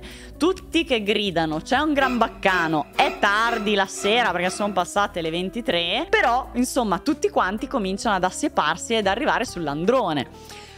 E eh, Giuseppina, quando vede che arriva tanta gente sull'androne, chiude a chiave l'appartamento. Che non gli aveva detto nessuno di chiudere la chiave, eh. Cioè, allora, penso sia un atteggiamento saggio, cioè quella è una scena del crimine, sta arrivando un botto di gente, aspetta che chiudo a chiave l'appartamento così nessuno ci può entrare. Mi sembra un atteggiamento abbastanza consapevole. Poi cosa fa Giuseppina però? Non rimane lì, va al piano di sopra, dove c'è l'appartamento di Cesare Valle dove dovrebbe esserci il marito Pietro. Alle 23.40 arriva la polizia, quindi lei va a avvisare Pietro, poi dopo scenderanno tutti e due, no? Alle 23.40 arriva la polizia, arrivano al portone del, del terzo piano della palazzina B e non riescono ad entrare perché il portone è chiuso a chiave. E quindi dicono, beh, chi è che ha chiuso a chiave? Chi è che ha le chiavi? Nessuno risponde, eppure Giuseppina è lì sull'androne. E eh, tutti quanti la guardano dicendo, eh, ce le ha lei, non sappiamo perché non parla, ma lei ha le chiavi, no? Giuseppina. E lei guarda gli inquirenti con sguardo vacuo e dice, che succede? Cos'è questa confusione? E nel frattempo tiene le chiavi nascoste dietro la schiena, così. Tra l'altro tentenna, sembra sotto shock, pare essere assente a se stessa, non um, così improvvisamente, cioè prima ha chiuso, mm, non so, molto lucidamente, poi è andata su. Poi adesso che arriva la polizia, oh mio Dio, sotto shock che non si ricorda più niente. Ha le chiavi dietro la schiena. E non si capisce se questo atteggiamento, eh, cioè non essere per niente collaborativa, sia dovuto allo shock o a un tentativo di depistaggio in qualche modo. Comunque sappiate che la polizia scrive sul verbale abbiamo dovuto letteralmente strapparle di mano il mazzo di chiavi. Quindi lei non ha consegnato le chiavi, le, le hanno prese. Cioè, questo è greve. Comunque entrano, constatano ovviamente il decesso e finalmente fa la sua apparizione anche il portinaio Pietro Vanacore che scende dal piano più alto dove era appunto a casa di Cesare Valle. Ora, eh, c'è da dire che tra eh, i vari interrogatori e tutto il resto, nessuno aveva visto nessuno. Nessuno aveva visto uscire nessuno e neanche entrare Simonetta, nessuno ha visto l'assassino scendere. Raga, cioè, uno che ha compiuto un omicidio di questo tipo doveva essere completamente ricoperto di sangue. E eh, eh, per quanto abbia cercato di lavare, pulire, magari si è cambiato, però qualcosa doveva trasportare. E eh, nessuno ha visto uscire alcunché. E quindi cosa succede? Se nessuno ha visto uscire nessuno e forse nessuno è mai uscito da qui, forse l'assassino è qualcuno che è rimasto sempre qui. E quindi guardano tutti Giuseppina e soprattutto Pietro, perché Pietro i suoi spostamenti erano stati un po' vaghi perché doveva essere a casa di Cesare Valle e poi non rispondeva al telefono, perché è stato l'ultimo ad arrivare sulla scena del crimine, perché eh, insomma ha fatto mm, arricciare il naso alla polizia che ha cominciato a addocchiarlo. Guarda caso, dopo un po' che lo addocchiano viene fuori una nuova versione. Eh, sia lui che la moglie hanno visto in realtà qualcuno alle 18 hanno la stessa identica versione, eh? tra l'altro la, eh, prima interrogano uno, poi interrogano l'altra e guarda caso hanno visto la stessa identica persona che però il giorno stesso non avevano visto. Loro dicono che intorno alle 18 hanno visto un uomo scendere dalla palazzina B che aveva un cappellino sulla testa e teneva con sé un fagotto sotto braccio. Fagotto che effettivamente poteva contenere gli abiti, tutti i trofei presi da Simonetta e anche gli stracci con cui lui ha pulito. Comunque lo porta sotto braccio, lo descrivono come un ragazzo alto, giovane e che cammina con un passo incerto, un po' come qualcuno che avesse i piedi piatti. La descrizione, l'identikit sembra ehm, essere eh, paragonabile a un tizio che effettivamente vive eh, in via Carlo Poma, un certo geometra che stava al piano terra mm, viveva al piano terra, insomma. E quindi dicono, cazzo, poteva essere lui non ve lo sto neanche a dire, aveva un alibi di ferro, lui era in vacanza in Turchia, quindi comunque non poteva essere lui. A proposito di questa versione, che poi viene fuori all'improvviso, sappiate che la versione di Giuseppina, processo di primo grado, cambierà. Il fagotto diventa una busta nera, aggiunge dei dettagli che prima non c'erano, come che per esempio l'uomo aveva i capelli biondi. E insomma, questo avvistamento di quest'uomo misterioso comincia a diventare veramente poco credibile. C'è anche da dire che eh, avevano subito puntato gli occhi su Pietro Vanacore e eh, è molto probabile che eh, sia per colpevolezza ma anche per innocenza abbiano inventato questa storia per distogliere tutti i sospetti che erano su di loro. Ora, eh, noi vedremo nello, nel dispiegarsi di questa storia, io non credo che il portiere sia l'assassino, non credo assolutamente che Vanacor sia l'assassino. Però, visto che eh, inizialmente lo pensavano tutti, è probabile che prima che arrivassero ufficialmente delle accuse nei confronti di Pietro, loro si siano organizzati di raccontare di aver visto qualcun altro. Non perché lui sia stato veramente l'assassino, ma perché dovevano pararsi in culo in qualche modo. Oppure lui è davvero l'assassino e loro hanno cercato di pararsi il culo in qualche modo. In ogni caso, questo uomo misterioso probabilmente non c'era.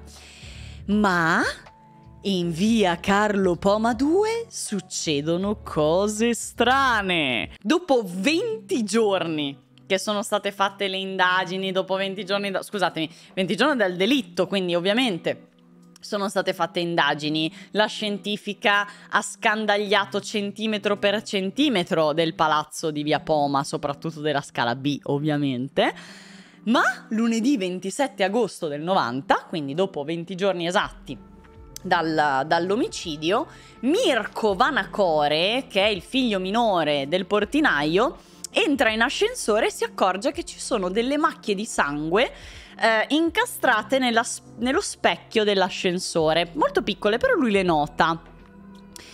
Ed è stranissima sta cosa perché la scientifica effettivamente era, aveva assetacciato l'ascensore da cima a fondo e non aveva trovato assolutamente nulla. Insomma, smontano il vetro, portano in laboratorio, analizzano il sangue, il sangue è di Simonetta. What the fuck? Lo vede un ragazzino a occhio nudo, non l'ha visto la scientifica? Ora, vero che siamo abituati che lavorano di merda, però qua c'era Garofano. Quindi no. Quindi no. Allora, è molto probabile che ci sia stato un depistaggio. Perché? Perché dopo qualche giorno troveranno altre altre macchie di sangue nel sottoscala della scala B. E non solo delle macchie, trovano delle ditate, cioè proprio delle striature, proprio il segno di una mano che passa, cioè sembrava Halloween, nel senso davvero ci volete fare gli scherzoni? Vogliamo credere che adesso il palazzo è posseduto, appaiono macchie di sangue di Simonetta ovunque dopo giorni e giorni dal suo omicidio? E dai! Eh, ci mancava solo il sottotetto, veramente. Con la, con la salma diventava un film horror. Il garofano, il grande garofano, sì, dopo ne parliamo, dopo ne parliamo, c'è anche una sua foto in questa, eh, in questa live. Comunque, ehm, i RIS dicono no, l'avremmo visto, se ci fosse stato l'avremmo visto. Quindi è molto probabile questo sangue sia stato aggiunto successivamente per, per depistare. In realtà, le tracce di sangue trovate nel sottoscala erano di gruppo B. Allora, Simonetta era zero. Abbiamo trovato il suo sangue, ovviamente sulla scena del crimine, sull'ascensore. L'assassino deve essere di gruppo A, perché è quello che abbiamo trovato sulla scena del crimine. E poi nel sottoscala c'è del sangue di gruppo B. Ora, davvero? Ci vuoi dire che non ci stai cercando di confondere, assassino? Sì che ci stai cercando di confondere, lo fai apposta. E soprattutto sei tornato di nuovo in quel palazzo. Birichino. E nessuno ti ha visto.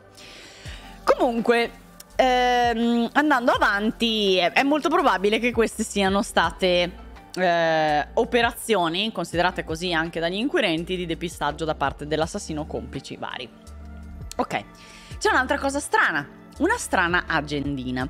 Il 6 settembre gli inquirenti hanno restituito alla famiglia di Simonetta i, mm, gli averi di Simonetta, insomma i suoi beni personali che aveva con sé. E eh, le riconsegnano, tra le altre cose, vabbè, la borsetta, l'ombrellino, tutto il resto, le riconsegnano anche tre agende, una azzurra, una nera e una rossa della lavazza. La madre di Simonetta, però, quando guarda le cose della figlia, si rende conto che quella agendina della, della lavazza non, non l'aveva mai vista in casa. Tra l'altro la apre e non c'è la scrittura di Simonetta, sembra un'agenda di un'altra persona. Insomma, guardandoci meglio si rende conto che lì dentro ci sono tutti i numeri della famiglia Vanacore. Quindi quell'agendina apparteneva a Pietro Vanacore, al portinaio. E perché l'hanno ridata. Allora, è stranissima sta cosa. È molto anni 90, l'agendina Balavazzo, esatto. Cioè, perché hanno, non hanno eh, messo tra le prove della scena del crimine, non l'hanno inserita, l'agendina Lavazza, ma la riconsegnano alla famiglia? Cioè, è stranissima sta cosa, è un rompicapo veramente. Allora, anche questo ovviamente la, la madre... Ah, la madre torna in questura, riporta l'agendina, dice che non è ovviamente quella della figlia, che ha visto che ci sono i numeri dei Vanacore. La questura, insomma, indagano un attimo e dicono no ma guarda questo qui sicuramente è un tentativo di depistaggio così come eh, quello delle tracce di sangue. E quindi accantonano l'agendina che poi sparisce, sparirà per sempre. Questa agendina non si ritrova più Attualmente non si sa che fine abbia fatto. Veniamo all'arma del delitto. Io intanto continuerò a mangiare cioccolata come se non ci fosse un domani. Oh. Qual è l'arma del delitto secondo voi?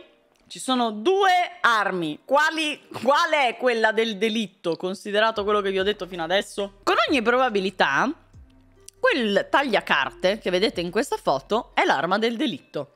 Riposta, pulita perfettamente a posto così in un altro ufficio.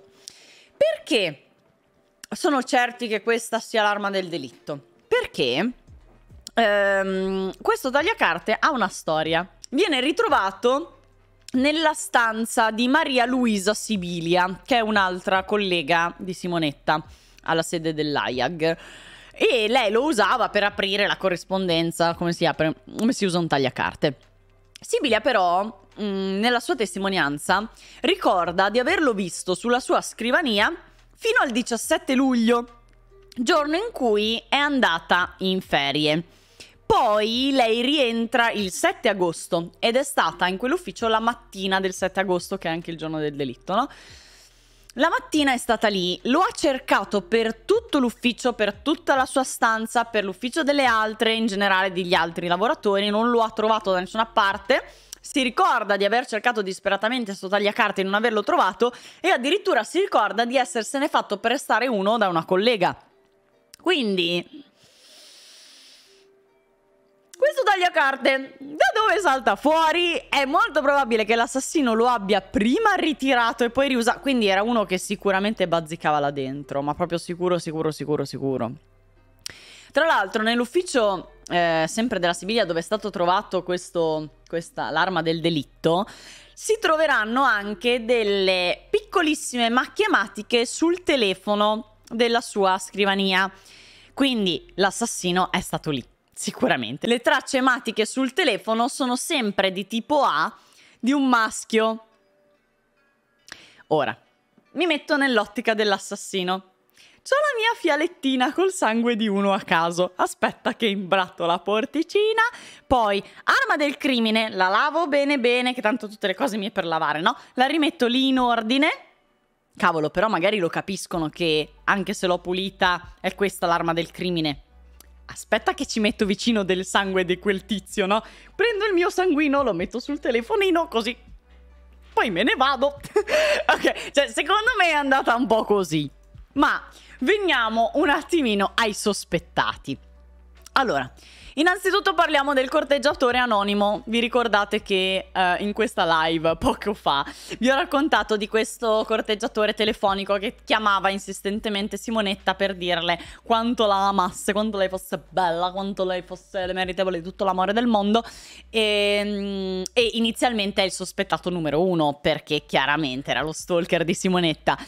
Lo eh, rintracciano in uh, brevissimo tempo, scoprono che era un impiegato delle poste. Lui in realtà era un tipo ossessionato da Simonetta, innamorato perdutamente di Simonetta, ma del tutto innocuo, nel senso che scoprono che lui la seguiva, la spiava, era molto insistente con lei, era fissato, però non era violento. La cosa più da vicino che era riuscito a fare era lasciarle dei doni sul posto di lavoro, come delle scatole di cioccolatini o dei fiori. Molto demodé il ragazzo, però ok. Maru! Grazie Maru! Grazie, grazie, grazie! Grazie per la sub! Anche Edmund Kemper sembrava un bravo ragazzo, ma certo, ma certo, diffidate sempre dai bravi ragazzi. Non poteva essere lui, aveva l'alibi, insomma, il nostro stalker telefonico è innocente e siamo a posto così. Però a questo punto, escluso lo stalker, ricominciano a puntare gli occhi sul portiere, su Pietro Vanacore. Perché dicono, se nessuno ha visto nessuno uscire, è probabile che, innanzitutto, ricostruita la dinamica dell'omicidio, la persona deve conoscere bene l'ambiente e il palazzo, quindi lo chiamano assassino territoriale, cioè legato al territorio del palazzo. E chi altro può essere se non Pietro Vanacore, che era l'unico oltre a Cesare Valle, ultra ottantenne e probabilmente con qualche disabilità o impedimento per riuscire a condurre un omicidio del genere, per esclusione cominciano a guardare Pietro Vanacore. Ora ve lo presento, è quello che la mia migliore amica Irene definirebbe un bel ves. Comunque, eh, il bel ves quel pomeriggio sappiamo di, mm, come dire, ne abbiamo la certezza che lui era stato in ferramenta a comprare un frullino. Lui, sì, un bel vest, raga. È come quando guardate George Clooney. George Clooney non è, non è bello, le vest, quindi al massimo è un bel vest.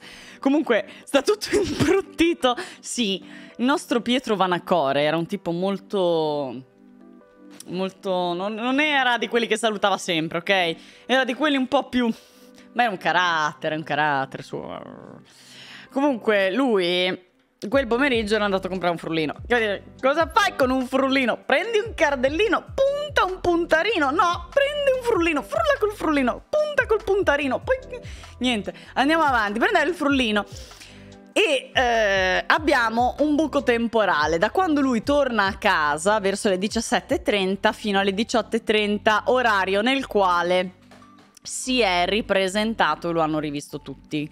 Quindi eh, l'ipotesi degli inquirenti è che Vanacore abbia approfittato di questo eh, lasso di tempo tra le 17.30 e le 18.30 per compiere il delitto, ma in aggiunta a ciò c'è anche da considerare che alle 22.30 sarebbe dovuto essere nella, nell'appartamento dell'anziano Cesare Valle, ma lui non c'è arrivato mai fino alle 23 e quindi dalle 22.30 alle 23 dov'era Pietro Vanacore? Ora abbiamo dei buchi temporali rispetto agli spostamenti di Pietro e i buchi sono tra le 17.30 e le 18.30 tra le 22.30 e le 23. Ora, non sono comunque, a mio parere, spazi temporali bastevoli per fare tutto quello che ha fatto l'assassino là dentro. Ma va bene. Comunque, eh, chiaramente questi scarti temporali, questi, questi buchi, no, fanno insospettire gli inquirenti e quindi diventa ovviamente il primo sospettato. Che cos'è la prima prova che trovano? E qua comincia il momento comico, ve lo dico che comincia il momento comico, quindi preparatevi perché c'è un momento in cui sicuramente riderete e sentitevi liberi di farlo. Perquisiscono casa di Vanacore e casa anche di Cesare Valle, dove Vanacore dormiva la notte appunto per dargli assistenza.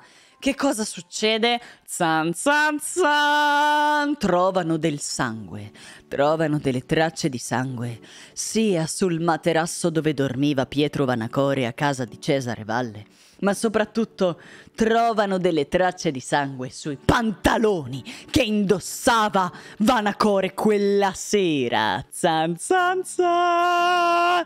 Noi sappiamo che Vanacore poverino. Sappiamo tutto ormai di Vanacore, ma sappiamo che Vanacore non aveva una grande abitudine all'igiene personale, per cui portava quei pantaloni da giorni in realtà. Noi non giudichiamo, vi invito a guardare quali pantaloni avevo nell'ultimo VOD.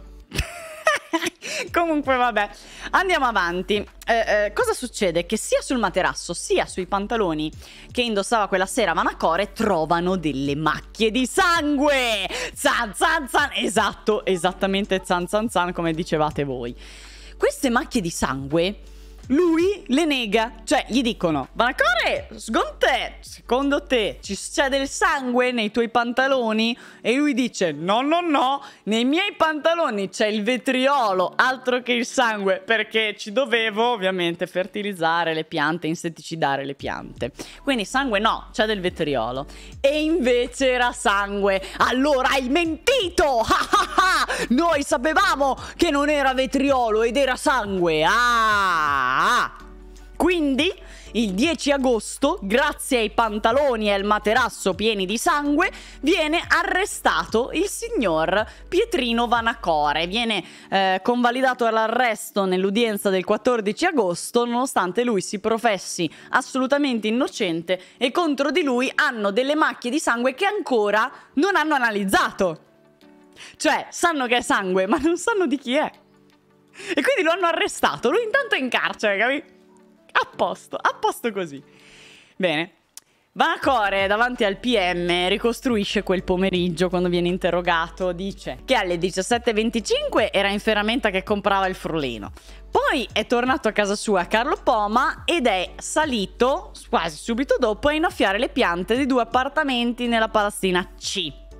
Alle 18.10, visto che aveva usato una scala, ha riportato la scala al suo posto e alle 18 e 20 si è riunito con la sua famiglia e l'altro portiere, perché lì non era solo uno la, il portiere, erano due perché il palazzino, la palazzina è veramente immensa. E quindi stanno lì in, portine, in portineria fino alle 20, orario in cui Pietro rientra con la famiglia, cenano e poi eh, verso le 22 eh, e 20 così poco prima delle 22.30 va verso la palazzina B per andare appunto a casa di Cesare Valle. Però alle 22.30 lui a casa di Cesare Valle non c'era e neanche ancora verso le 23. Lui dirà che quel lasso di tempo lo ha trascorso ad innaffiare piante nei balconi e nei terrazzi degli altri inquilini della palazzina B che erano in vacanza. Raga, credibilissimo, eh, perché comunque la palazzina era deserta, erano andati tutti in vacanza e quelli che innaffiano sono solitamente eh, i portieri. Il 28 agosto, mentre Vanacore era Argabbio, la scientifica droppa i risultati del sangue sui pantaloni e sul materasso di Vanacore. è sangue ma è sangue misto a batteri fecali, perché era sangue merda, poiché appunto il nostro povero Pietrino Vanacore aveva le emorroidi. Queste emorroidi hanno sanguinato nel suo materasso e nei suoi pantaloni. Per questo Pietrino non sapeva che c'era del sangue nei suoi pantaloni e diceva "Ma sono sporchi di insetticida, poi li porto da tre giorni, saranno sporchi anche un po' di merda", ma non pensavo fossero sporchi di merda merda perché aveva scorreggiato. No, perché aveva le emorroidi. Capì? Quindi, esatto. Quindi lui uh, c'era del sangue, ma era il suo sangue. Ed era il suo sangue emorroidiale. Per cui niente, cioè, povero Vanacore finito in galera per avere le emorroidi. Io non lo so, ma chi di voi è stato arrestato per avere le emorroidi? Il 30 agosto viene scarcerato, intanto lui due, due, due settimane, una vacanzina in carcere, no? Eh, viene scarcerato e il 26 aprile del 91 quindi tanto aspettiamo un anno, il GIP archivia tutti gli atti relativi. A Vanacore e alla sua famiglia, perché appunto nessuno di loro aveva, né, innanzitutto le tracce di sangue non erano quelle di Simonetta, quella sui suoi vestiti, e poi il profilo genetico eh, sanguigno di Pietro e della sua famiglia non corrisponde con quello di gruppo A trovato dell'ipotetico assassino, no? Bene, Nonostante l'archiviazione, nonostante la posizione di Pietro messa da parte, eh, gli inquirenti non hanno mica niente, cioè non riescono a, a, a, trovare nessun altro sospettato. Quindi, per esclusione, nonostante il GIP abbia archiviato tutto, continuano a concentrarsi sul povero Pietro Vanacore. Dico povero perché poi ci sarà un plot twist a un certo punto. Secondo gli inquirenti e la procura, il movente è di tipo sessuale, cioè lui ci avrebbe provato con Simonetta, avrebbe ricevuto un rifiuto da parte di Simonetta, dopodiché lui l'ha messa a tacere perché la cosa non venisse fuori. Cioè, misseri, culo trattore, uguale. Eh, è sempre la solita storia, la solita ricostruzione. Quando non hanno fantasia, questa è la versione che si inventano. Va bene. Comunque, questo, eh, lui non voleva assolutamente che nessuno scoprisse che lui ci aveva anche solo provato e lei avesse detto di no, quindi, dato il rifiuto di Simonetta, lui gli avrebbe mollato 29 coltellate con tanto di overkilling, di piccherismo, di, di sgossamento e robe varie, trattando anche di pulire, di cosare, premeditare semplicemente perché Simonetta, che aveva 20 anni, ha detto di no a uno di 60. Movente proprio credibilissimo, eh? Credibilissimo. A posto così. Cioè, l'assassino, come vi dicevo prima, doveva essere zuppo di sangue, no? Dopo aver compiuto un delitto così sanguinoso. Quindi si pensava a Vanacore proprio perché lui, avendo le chiavi di altri appartamenti, avendo l'accesso ad altri appartamenti, avrebbe potuto comodamente cambiarsi, appoggiarsi e sparire all'interno della palazzina B senza problemi. Eh, tra l'altro è anche l'ultimo ad essersi presentato sulla scena del crimine, insomma il suo atteggiamento, eccetera, eccetera, continuano a concentrarsi inequivocabilmente su il povero Pietro Pana- pa- Vanacore, per esclusione, eh, semplicemente per esclusione, non perché hanno davvero delle prove su di lui. Allora, immagini forti. Preparatevi, sono immagini forti, non si vede niente, però si sente, non si vede ma si sente, ok? Quindi uh, only the brave, ma se seguite il true crime dovete essere brave, perché altrimenti andatevi a guardare Disney. Questo è Pietro Vanacore, il 9 marzo del 2010. Mancano tre giorni, tra l'altro siamo al 2010, abbiamo fatto un salto di vent'anni. Eh, tanto per concludere la vicenda di Vanacore, lui doveva presentarsi tre giorni dopo in tribunale per testimoniare semplicemente come persona informata sui fatti eh, al processo per Raniero. Poi dopo ci arriviamo al processo, eccetera. Comunque lui deve testimoniare nel 2010, ok? E L'unica cosa che avrebbe dovuto dire, per cui era interrogato, era rispetto alla cronologia dei fatti del 7 agosto nella palazzina, quindi nuovamente dopo vent'anni spiegare tutti i suoi movimenti di quel giorno. Quella mattina Pietro esce di casa, va a fare colazione e compra anche le sigarette. Aveva preparato dei cartelli che tiene in macchina. Questi cartelli recitavano senza nessuna colpa né mia né della mia famiglia. Ci hanno distrutti nel morale, nell'immagine e in tutto il resto. Lo porteranno sulla coscienza. O quello più famoso, che è vent'anni di sofferenze e sospetti ti portano al suicidio. Nel garage di Pietro verranno trovati tra l'altro altri cartelli abbozzati sul cartellino, sul cartoncino, sui pennarelli vengono trovate le sue impronte, quindi li aveva scritti lui. E insomma, come vedete dalle immagini, si è suicidato. Ma si è suicidato in un modo davvero stranissimo. Poiché lui aveva preparato una corda legando ehm, tra di loro più corde, aveva creato questa corda lunga 20 metri e eh, intorno alle 11 raggiunge l'insenatura di Torre Ovo, che è questa. Ora, voi vedete che c'è un corpo dove l'acqua è effettivamente bassa, che eh, dici, ma come, come è una morte veramente strana, veramente suicidi strani, suicidi strani, perché lui si era legato a un albero da una caviglia, cioè era legato a un albero dalla caviglia sinistra, 20 metri di corda e poi era annegato in una... Lui non sapeva nuotare, però ok. Era annegato in una zona dove l'acqua era alta un metro. Questa è un'immagine di come lo hanno trovato, quindi abbiamo le prove che era veramente lui, ok? Questi erano i cartelli che lui aveva lasciati tra l'altro nella sua macchina che aveva parcheggiato a riva, poco lontano da dove è stato trovato il corpo. Ora, mi pare strano che possa essere stato... Cioè, lui si è legato a un albero, un'estremità della corda l'ha legata a un albero, l'altra estremità se l'è legata alla eh, caviglia sinistra per poi tuffarsi in un metro d'acqua e annegare. What the fuck? Cioè, è, è strano... È strano, soprattutto guardate dove l'hanno preso. Cioè, qui era lui che galleggiava, vedete, no? La pietra è la stessa quella a cui lo recuperano, era lì, era a riva. Boh. Boh.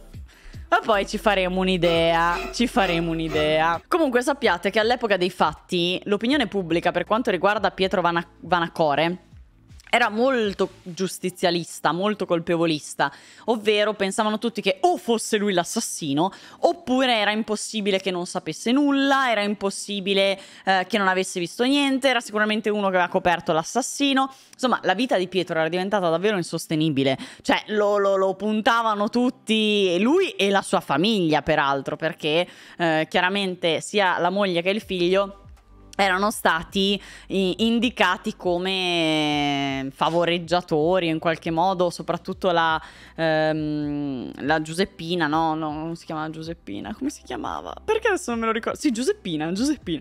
La Giuseppina che aveva temporeggiato, no, per aprire la, la porta e tutto il resto fa pensare che ci fosse un qualcosa sotto. Comunque, la famiglia Cesaroni in realtà non è molto convinta della colpevolezza del portiere. Loro hanno in testa un altro colpevole. Loro sono convinti che l'assassino sia il datore di lavoro Salvatore Volponi. O almeno, se non è lui l'assassino, sicuramente è lui quello che sa di più e che non parla. Perché? Per l'atteggiamento che ha tenuto con loro, perché eh, quando Paola, la sorella di eh, Simonetta, si è recata a casa di Vanaco, di, scusatemi, ehm, di Volponi per cercare Simonetta, Volponi non si è manifestato subito molto collaborativo, anzi, era reticente, quasi gli pesava il culo accompagnarla e poi ha cominciato a dire, eh, ma io non so dov'è l'indirizzo, ah, dobbiamo dobbiamo chiamare questi, ma sono in vacanza. Cioè, capito? Ogni volta sembrava che ci fosse un ostacolo insormontabile per cui il signor Volponi non avrebbe potuto aiutare la famiglia Cesaroni a trovare Simonetta. Ovviamente sappiamo benissimo eh, che poi eh, in realtà sapeva dove era questo ufficio, quindi ha mentito in qualche modo e non si capisce bene perché. Comunque, anche l'atteggiamento, vi ricordate quando lui entra nell'ufficio, è il primo a entrare, dà un'occhiata superficiale, chiama, no no, qui non c'è nessuno, usciamo pure. Cioè, io, anche io, mi sono convinta che Volponi qualcosa sa. Sicuro non è stato lui, anche perché ha un alibi de ferro. Perché all'orario dell'omicidio, che vi ricordo è stato collocato tra le 17.30 e le 18.30, lui si trovava altrove. Eh, in stazione Termini, mi pare. Comunque mh, mm, ha un alibi perfetto, ma sono certa che qualcosa dovesse sapere e secondo me lui era consapevole del fatto che l'omicidio si sarebbe tenuto quel pomeriggio. Perché? Perché è stato lui a mandarla in sede quella stessa mattina. È stato lui a temporeggiare quando è arrivata Paola. È stato lui a dire qualcosa alla portiera, a cercare di farlo. Eh, secondo me lui sa. Secondo me lui sa. Il mandante. Magari non è proprio il mandante mandante.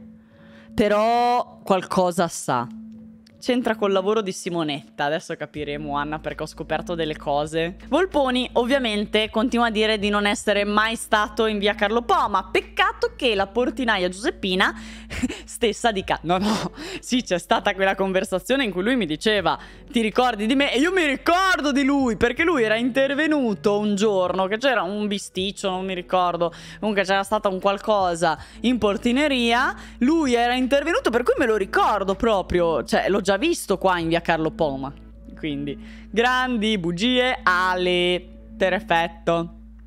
Bene, ora arriviamo al vivo. Adesso cominciano a succedere le cose davvero, davvero, davvero strane. Lo vedete questo soggetto qua? Fat Sujet. Allora, Fat Sujet è, è un tizio che è diventato fondamentale in questa indagine. All'inizio del 1992, quindi è passato un anno e mezzo, compare lui compare improvvisamente nella storia di Simonetta. Roland Foller è un super testimone austriaco che non era ancora stato sentito dalla procura.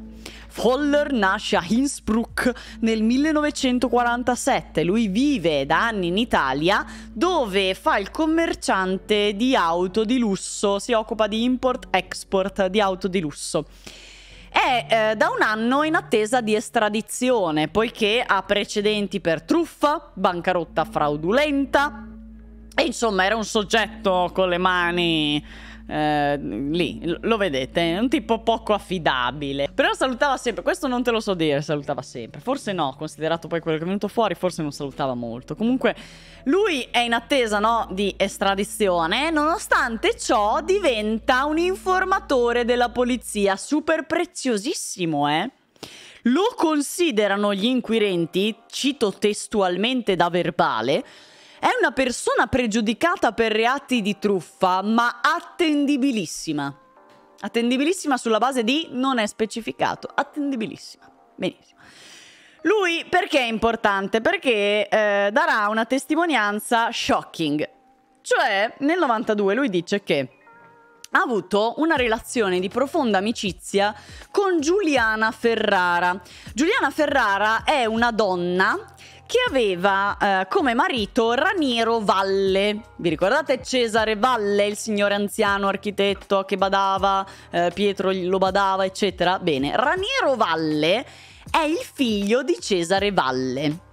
Raniero Busco è l'ex, cioè era il fidanzato all'epoca, di Simonetta. Hanno lo stesso nome. Eh, fissare questa informazione. Ma andiamo avanti.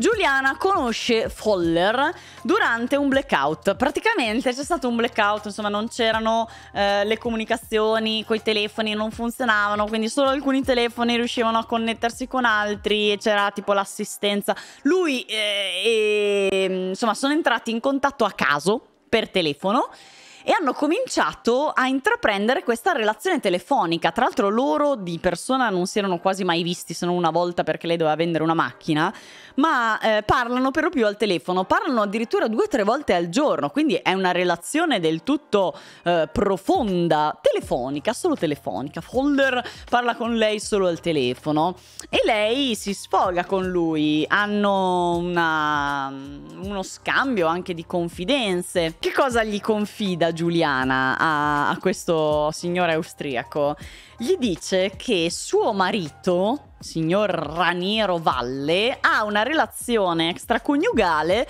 con una ragazzina di 20 anni, una ragazza che fa la segretaria per l'AIAG. Simonetta aveva 20 anni e faceva la segretaria per l'AIAG.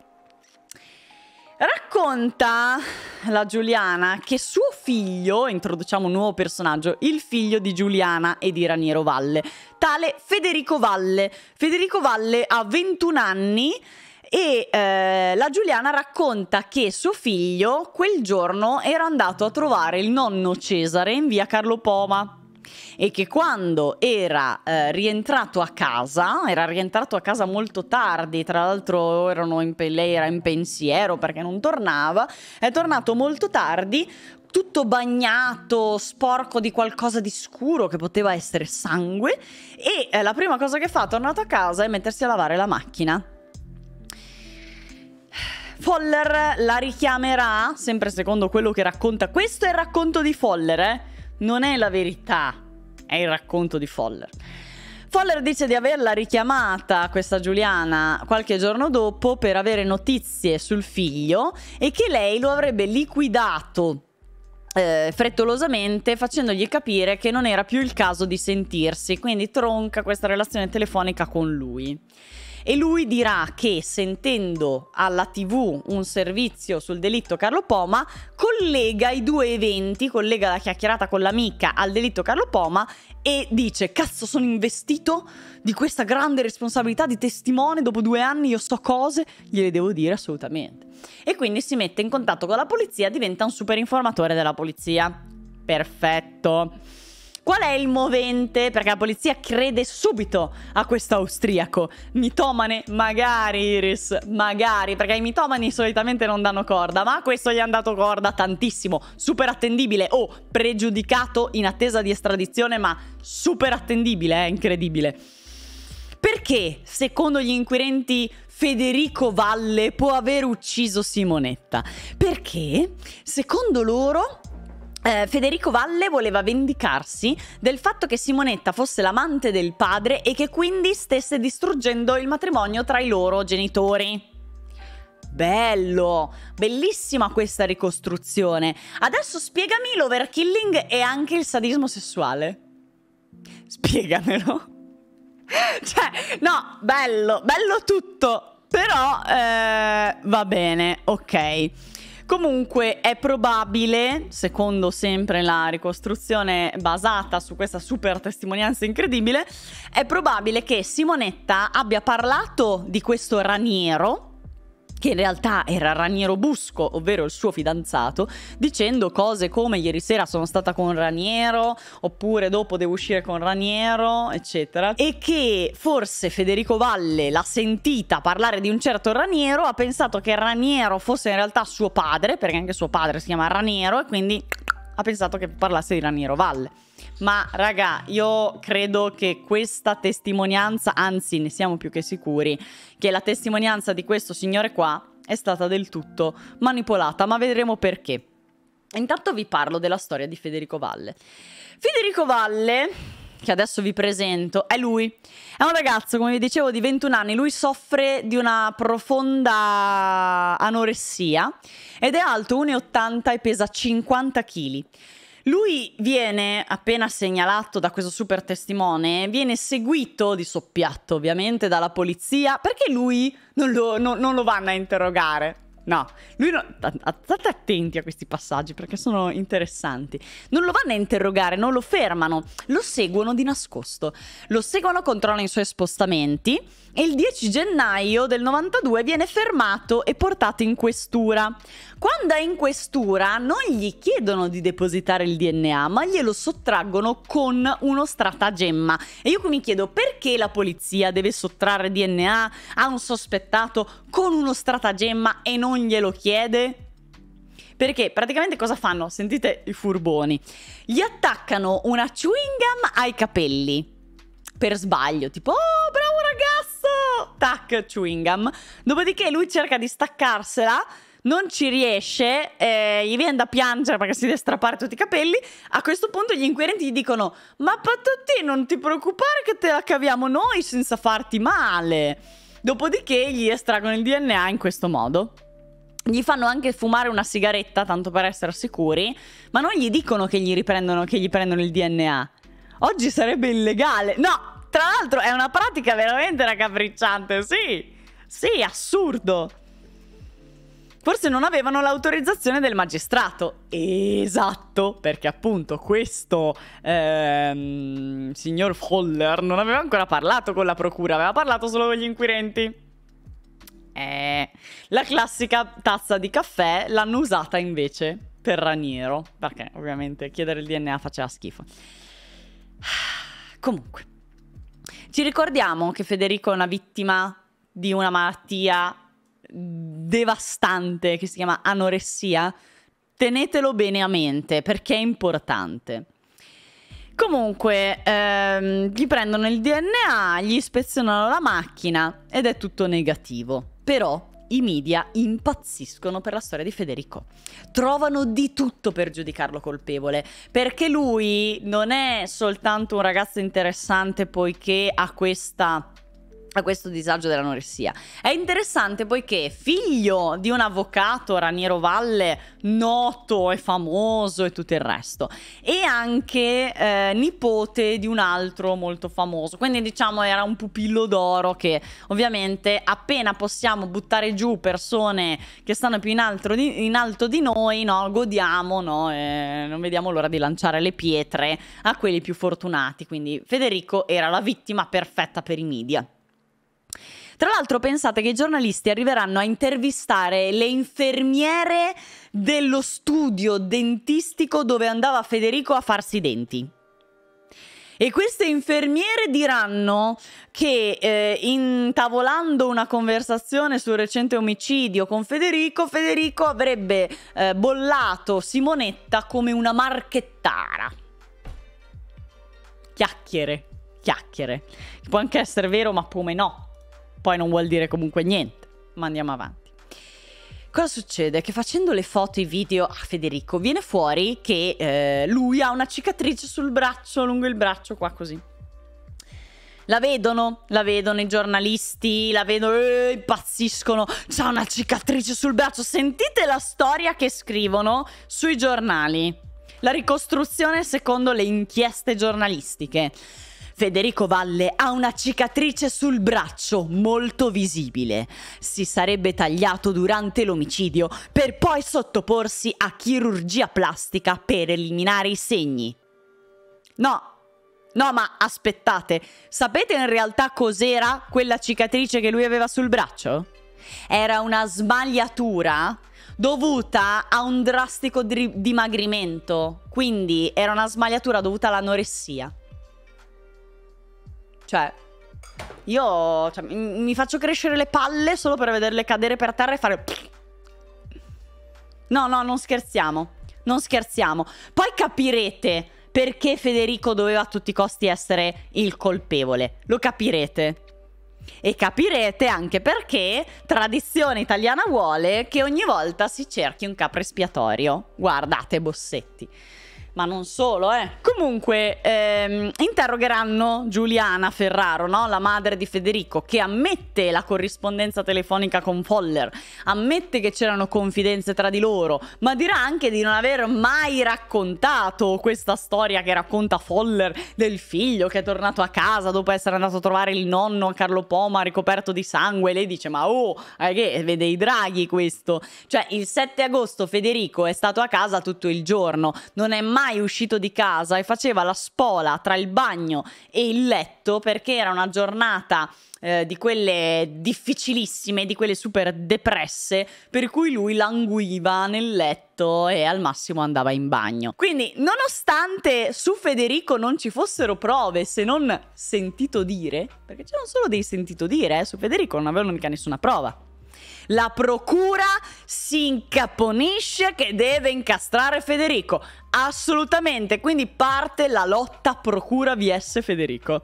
Procura versus, versus Federico diventa la, eh, la, mania del 93. Il 21 maggio del 93 il PM richiede il rinvio a giudizio per Federico Valle per omicidio e lo richiede anche per Pietro Vanacore, il portinaio, per favoreggiamento perché secondo il PM, allora, eh, Federico avrebbe ucciso Simonetta, mentre il portinaio Vanacore avrebbe ripulito la scena. Questa è la grande eh, organizzazione delinquere di Federico più Pietro. Si perde un po' il movente di Pietro a questo punto, cioè se prima Pietro avrebbe dovuto uccidere Simonetta perché voleva scoparsela ma lei non gliela dava e quindi voleva cancellare, vabbè. Ora, il movente ce l'ha Federico perché vuole uccidere Simonetta, considerato che è l'amante di suo padre e rovina la famiglia. Ok. Ma perché Pietro, il portinaio, avrebbe dovuto coprire Federico? Cioè, perché? Lo aveva, lo aveva pagato? No, non sta trovato niente. Cioè, capito? Non ha senso. Questa ricostruzione non ha senso. Anche perché Federico e Pietro non avevano un legame. Quindi non ha senso. Ma andiamo avanti. Tra l'altro l'alibi di Federico Valle viene confermato da un'amica della madre, tale Anna Maria Scognamiglio, che era andata quel giorno del 7 agosto, quel pomeriggio, a trovare la mamma di eh, Federico prendere un caffè e fare quattro chiacchiere. C'era anche la zia di Federico. E lei ha visto con i suoi occhi Federico languire a letto e andare in bagno e tornare a letto. E hanno anche commentato questa cosa con la madre dicendo: Eh, poverino, sta male, depresso, anoressico, eccetera, eccetera. Quindi aveva un alibi effettivamente super confermato. E eh, quando mai ti capita che il tuo alibi è che sei a casa a letto e c'è anche qualcuno che ti vede? Era stato, stato molto fortunato. Peraltro, il giorno dopo, ovvero l'8 agosto, andranno tutti insieme, l'amica della mamma, la mamma e Federico, al mare a Fregene. E Federico, che si è denudato, non aveva nessuna ferita sul corpo. Quindi, visto che l'assassino ha lasciato sangue, visto che teoricamente ci dovrebbero essere stati eh, dei segni di colluttazione, che poi colluttazione con chi, visto che Simonetta non aveva segni di difesa. Quindi, da dove l'ha perso il sangue l'assassino? Scusate.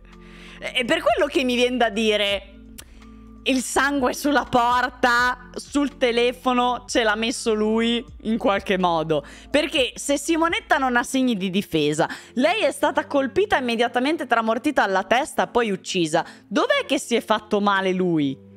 Dalle emorroidi? No, dal tagliacarte? Ma il tagliacarte non ti taglia mica te. Cioè, eh, mm, boh. Comunque va bene, mm, quelle, quelle, quelle, tracce lì le consideriamo reali. Il 16 giugno del 93, fortunatamente, il giudice pro, proscioglie Federico e Pietro. La procura però, che non si arrende... Vedete qui l'ignoranza, porco dio! Mi viene l'arterio, mi viene l'incazzo perché hai un sentito dire da parte di un super testimone pregiudicato del cazzo. Poi c'hai eh, i testimoni che invece confermano l'alibi di Federico, che poverino, un ragazzo anoressico, dai. E il giudice ti archivia immediatamente l'accusa, manda Federico a casa, innocente, bello tranquillo. No, non ti va bene, fai anche ricorso. Fa anche ricorso, ma ricorso su ricorso. Ne farà due di ricorsi la procura per riuscire a incastrare Federico. E il giudice dice, oh, non c'è una prova che sia una, per Dio, buona! Eh? Buona! Quindi fortunatamente Federico in qualche modo c'era un giudice che è stato abbastanza accorto e lo ha lasciato stare, ma è comunque è stato un anno e mezzo in mezzo a sta storia.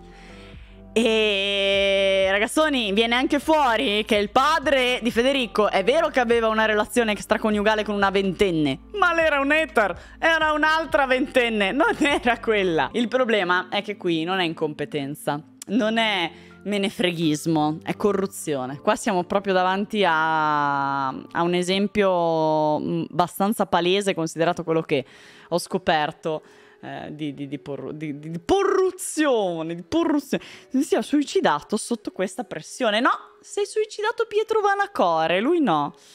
Però dai, meno male, no? Una vittima sola, meno male. Bene. C'è da chiedersi una cosa. Perché questo pregiudicato austriaco commerciante truffaldino di macchine di lusso è stato considerato dalla procura un super testimone attendibile? Quando mai nella vita? Allora, hanno scoperto che Foller aveva anche altri collegamenti col palazzo in via Poma. Il suo assicuratore aveva l'ufficio in via Poma. Inoltre, il nostro Foller, a partire da settembre del 1990, quindi un mese dopo l'omicidio, era diventato titolare dell'Appia Car 90 SRL, che dista 300 metri dal luogo dell'omicidio. Adesso cominciano le cose strane. E se fosse stato Foller? Adesso cominciano le cose strane. Il senatore Erminio Boso, all'epoca dei fatti, quindi nei primi 90, ha presentato un'interrogazione parlamentare tutta incentrata sulla posizione di Foller. Cosa significa interrogazione parlamentare? Vi dico quel poco che sono riuscita a capire, poi anche io non ci capisco niente di queste cose, per cui ve la faccio molto semplice. Esiste eh, in Parlamento una commissione giustizia che è l'unica forza over i, um, i PM. Quindi laddove c'è un PM corrotto, una procura corrotta che fa delle cose nella maniera sbagliata, palesemente sbagliata e che in qualche modo inficia la verità nelle indagini, ci deve essere un, uh, un, senatore che comunque si prende la responsabilità di fare questa interrogazione parlamentare, rivolgersi alla Commissione Giustizia e portare le prove del fatto che uh, questa procura non si sta comportando secondo giustizia. E quindi la Commissione Giustizia è i- investita della responsabilità di dare delle risposte e indagare, fare delle indagini interne rispetto a quello che sta succedendo. Questo è quello che io ho capito, potrei sbagliarmi. Vi, vi racconto qual è stata l'interrogazione parlamentare di Erminio Boso, che misteriosamente non si trova più sul sito del governo. Così, scomparsa, comunque diceva. Il cosiddetto super testimone austriaco Roland Foller aveva in uso un cellulare intestato al, al Ministero dell'Interno aveva una cassetta di sicurezza presso il cavò della BNL, ottenuta grazie a una lettera di raccomandazione su carta intestata alla Questura di Roma, firmata niente po', po di meno che dal, dal commissario Antonio Del Greco, che all'epoca dei fatti era il dirigente della squadra mobile che indagava sul delitto di Simona, di Simonetta nella cassetta di sicurezza della BNL che aveva lui è stato trovato un, um, una fascetta del tipo utilizzato per avvolgere le banconote con un numero di serie non emesso dalla Banca d'Italia e quindi proveniente dai fondi riservati e gestiti dal Ministero dell'Interno. Ok, ora siete tutti occhio, occhio bocca occhio. Quindi, cosa sappiamo che sapeva anche il ministro, il senatore, scusate, Erminio Boso? Sappiamo che Ronald Holler non era solo un pregiudicato del cazzo, ma aveva un cellulare con un numero intestato al Ministero dell'Interno. Aveva una cassetta di sicurezza che gli era stata data dal Ministero dell'Interno Peraltro dallo stesso firmata eh, l'autorizzazione a usare questa cassetta dallo stesso dirigente delle indagini di via Carlo Poma. E c'erano dei soldi, c'era la fascetta, i soldi non c'erano più, c'era solo la fascetta con eh, dei numeri di serie che non erano attribuibili alla Banca d'Italia, quindi erano soldi gestiti e riservati al Ministero dell'Interno. Ora, perché hanno dato adito a Foller?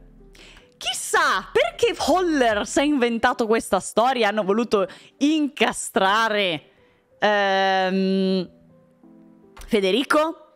Raga, cioè, qua è tutto. È tutto un, un, un, È inutile dire un complotto, ma è un complotto. Cioè, è il, è il Ministero dell'Interno che ha cercato un capo espiatorio, lo ha trovato in Federico, ha pagato foller con i soldini che non troviamo più, troviamo solo le fascette per dare questa versione. E problema, sai, sapete qual è? Che c'è stata un'interrogazione parlamentare, che il senatore Boso si è mosso, ma dall'altra parte... Grilli. Nessuno ha mai risposto a questa interrogazione parlamentare, tra l'altro sparita. Non si trova più, non si trova più sul sito. Cioè, la cosa che mi fa incazzare è che lo vedete quanti cazzo di malghini fanno le procure? Cioè, possiamo davvero ancora pensare che la verità processuale è la verità oggettiva di come siano andate le cose? Possiamo davvero ancora sperare che le indagini vengano fatte in modo oggettivo per scoprire la verità sulla morte di una persona? No! Mai! Cioè, quasi mai! Cioè, sembra che veramente muore una cristiana qualunque di vent'anni che porco il clero faceva la contabile sottopagata. Muore? Dici, cazzo, deve essere un omicidio ordinario? No! C'è sempre di mezzo sto grandissimo cazzo! Ci sono sempre di mezzo dei malghini, delle persone da coprire, e le procure che non fanno il loro lavoro e che mettiamo in mezzo dei depistaggi, mettiamo in mezzo delle testimonianze false, poi super testimoni. Eh. Cioè, il problema qua è che se tanto ci dà tanto che continuiamo a, vedi- a vedere queste cose, ma noi con che passione ci affidiamo alla giustizia nel momento in cui abbiamo un problema? Cioè, io con, con, con, che passione mi affido alla giustizia se mi ammazzano Anna? Cioè, se mi fanno un omicidio e, e trovo Anna in un lago di sangue, c- con che certezza io ho che chiamo le forze dell'ordine e sicuramente loro indagheranno?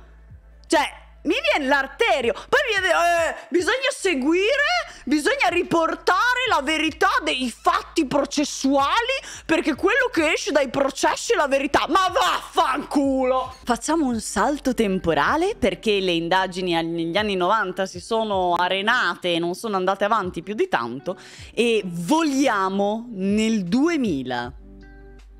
Nel 2000, il 10 agosto, arriva una telefonata anonima al 113 che ora vi faccio udire, anzi vi faccio vedere e sentire, perché è, è, è veramente notevole. Allora, sì, ce l'abbiamo? Ce l'abbiamo? Musica, stop, vai. Ok, ve la faccio sentire.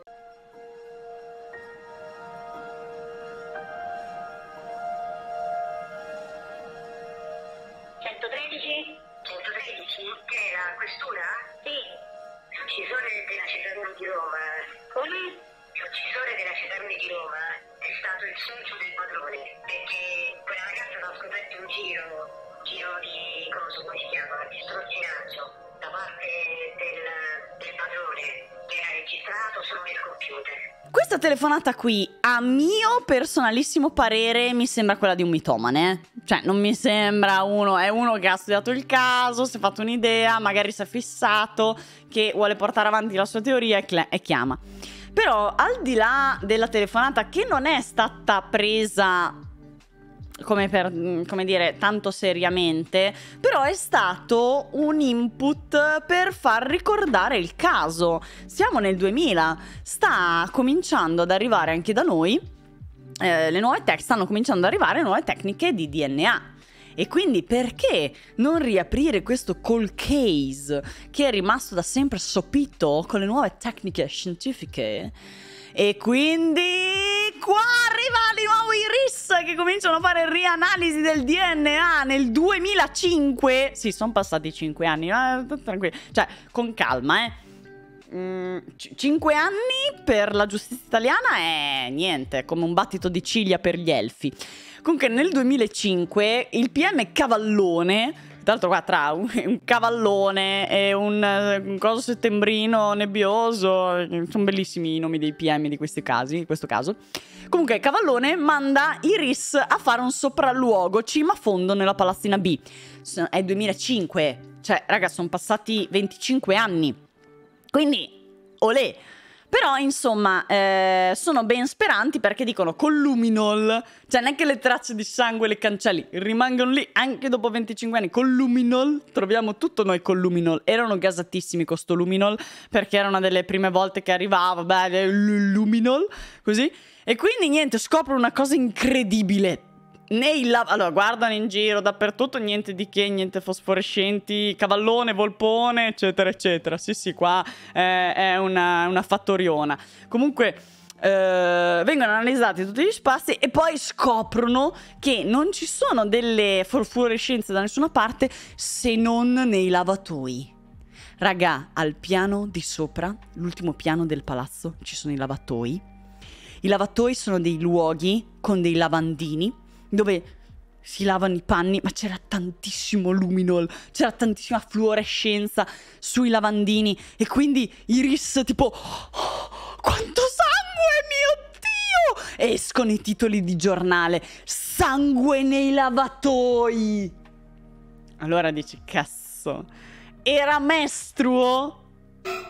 No. Secondo voi perché si illuminava il luminol e tutti pensavano che fosse una quantitativa industriale di sangue e invece la verità è questa.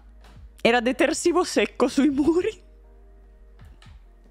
E quindi niente, la scientifica ha scoperto che anche il detersivo secco dà lo stesso risultato luminescente del sangue. Grande! Abbiamo fatto una nuova scoperta! Chi è lui? Ditemelo voi! Chi è lui? Chi è il nostro santino preferito? Chi è che lo teniamo nel portafoglio?